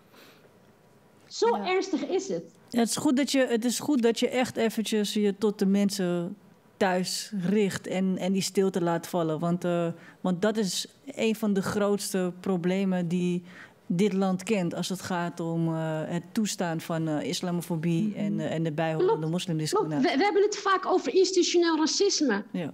Dit zijn de voorbeelden van institutionele islamofobie. Mm -hmm. ja. Ja. En we kijken ernaar, we bagatelliseren ja. het. Maar ja. die, en het gaat om mensenlevens, om kansen. Ja. Dat is waar het om gaat. Ja. Dankjewel Ibtisem met, uh, met je laatste energie om de mensen nog zo uh, stevig toe te spreken. En ik hoop dat het bij iedereen uh, thuis binnengekomen is. En dat de mensen die wel een islamitische achtergrond hebben... Uh, zich ook gesterkt voelen door, uh, door, door mensen zoals jij en de deskundigen hier aan tafel. in het kader van bondgenootschap heb ik Roemer gevraagd om even achter de microfoon te staan. Roemer? Ja. Um, ik vond het een, een boeiende discussie. Uh, en uh, een aantal dingen daarover, kort wat mij betreft. Ik sluit me volledig aan bij Ibtissam dat we moeten oppassen met uh, dat melden, dat weten we nu wel. Daar ben ik het helemaal mee eens. Melden blijft hetzelfde. We kunnen er aan doen wat we willen. Of het nou komt door slecht georganiseerde meldingsinstituties. Of het nou komt door gewenning, whatever. Melden blijft een punt, ook al ga je uh, moslimdiscriminatie als aparte registratiegrond weer mogelijk maken. Het blijft een, een heel klein gedeelte zal gaan melden. We weten uit alle onderzoeken, ook dat van jullie, ook dat weer van ons, ook dat van iedereen, dat ongeveer uh, 70% van moslims dagelijks uh, te maken heeft met discriminatie en met uitsluiting. Als de politici dat nu nog niet achter de oren hebben, dan hebben ze een groot probleem. Want dan zijn ze horendoof en blind en weet ik veel wat. Ben ik het helemaal mee eens. Het gaat inderdaad voor een belangrijk deel over uh, al die dingen die jullie nu hebben aangedragen. Vooral de wet en regelgeving die is ontstaan en die onder een algemene paraplu wordt aangekondigd, maar die feitelijk heel vaak van toepassing wordt gemaakt op moslims. En dat moslims daar het eerste de dupe van worden. Allerlei dingen die als algemeen worden gepresenteerd, maar uiteindelijk op instituties van moslims van toepassing zijn. Een heel groot probleem, denk ik. En ik denk dat dat vandaag goed centraal is gesteld. En dat we nou, dat met elkaar kunnen als bondgenoten verder moeten aankaarten. En inderdaad, wat jij zei, Eptisem, voorkomen is beter dan genezen. We moeten werk van maken van die zaken voordat dat daadwerkelijk is doorgevoerd. En met sommige dingen zijn we helaas al te laat. Maar laten we gezamenlijk strijden tegen wetgeving of regelgeving die racisme, discriminatie, islamofobie verder in de hand werkt. En dat is een gemeenschappelijke strijd voor ons allemaal, wat Abtoe zegt. En ik hoop dat we daar samen als uh, progressieve bondgenoten werk van kunnen maken. Dankjewel, Roemer van Oort. Uh, ik, uh, we zijn al bij het einde gekomen van dit programma. Dus ik wil bij deze uh, Awasis van Meld Islamofobie bedanken voor de bijdrage. Jimel Yumas van Easy Solutions. Abdul Menebi van onder andere het collectief tegen islamofobie en discriminatie. Uh, Nilab Amadi van onder andere de Afghaanse jongerenbeweging Azadi. Uh, Henen Abu Lotfi van onder andere uh, Speak. Uh, we hebben eigenlijk gezegd dat uh, Nederland inderdaad een soort van uh, heeft. Uh, maar het is toch wel belangrijk om echt te melden. En dat kan bij Meld Islamofobie met betrekking tot islamofobie of moslimdiscriminatie. Het kan ook bij het MDRA, het meldpunt Dis discriminatieregio Amsterdam. Um, ze staan ook slachtoffers bij indien, indien gewenst. Um, hou de agenda in de gaten. Volgende evenement van Samen tegen Racisme is op 18 januari hier bij Pakhuis de Zwijger. Dit is ook gewoon om 8 uur. Hou de website in de gaten voor alle activiteiten, initiatieven uh, en mogelijke uh, rollen die, uh, die jullie thuis zouden kunnen vervullen in de strijd tegen islamofobie, maar ook in de strijd tegen bijvoorbeeld anti-zwart racisme, antisemitisme en alle andere groepen die last ondervinden van racisme en discriminatie in de Nederlandse samenleving. Wat heel erg tof is van, het, van de coalitie Samen tegen Racisme is ze hebben een grassroots fund. En uh, die, daarmee bieden ze ondersteuning uh, aan, uh, aan initiatieven die zich inzetten tegen, tegen racisme. Meer informatie hierover vind je op dezwijger.nl slash STR. En die STR staat voor Samen tegen Racisme. Uh, alle programma's zijn terug te kijken op dezwijger.nl. Dit programma wordt uh, mede mogelijk gemaakt door jullie thuis. Uh, en dat kan door gebruik te maken van de Pay As You Like knop die nu in beeld verschijnt. Hou je telefoon in camerastand en dan word je automatisch doorgeleid naar de donatieknop. Uh, elke bijdrage wordt zeer gewaardeerd. Mijn naam is Dion, ook ik ben van Easy Solutions en het was me waar genoegen om dit programma te modereren. Fijne dag allemaal.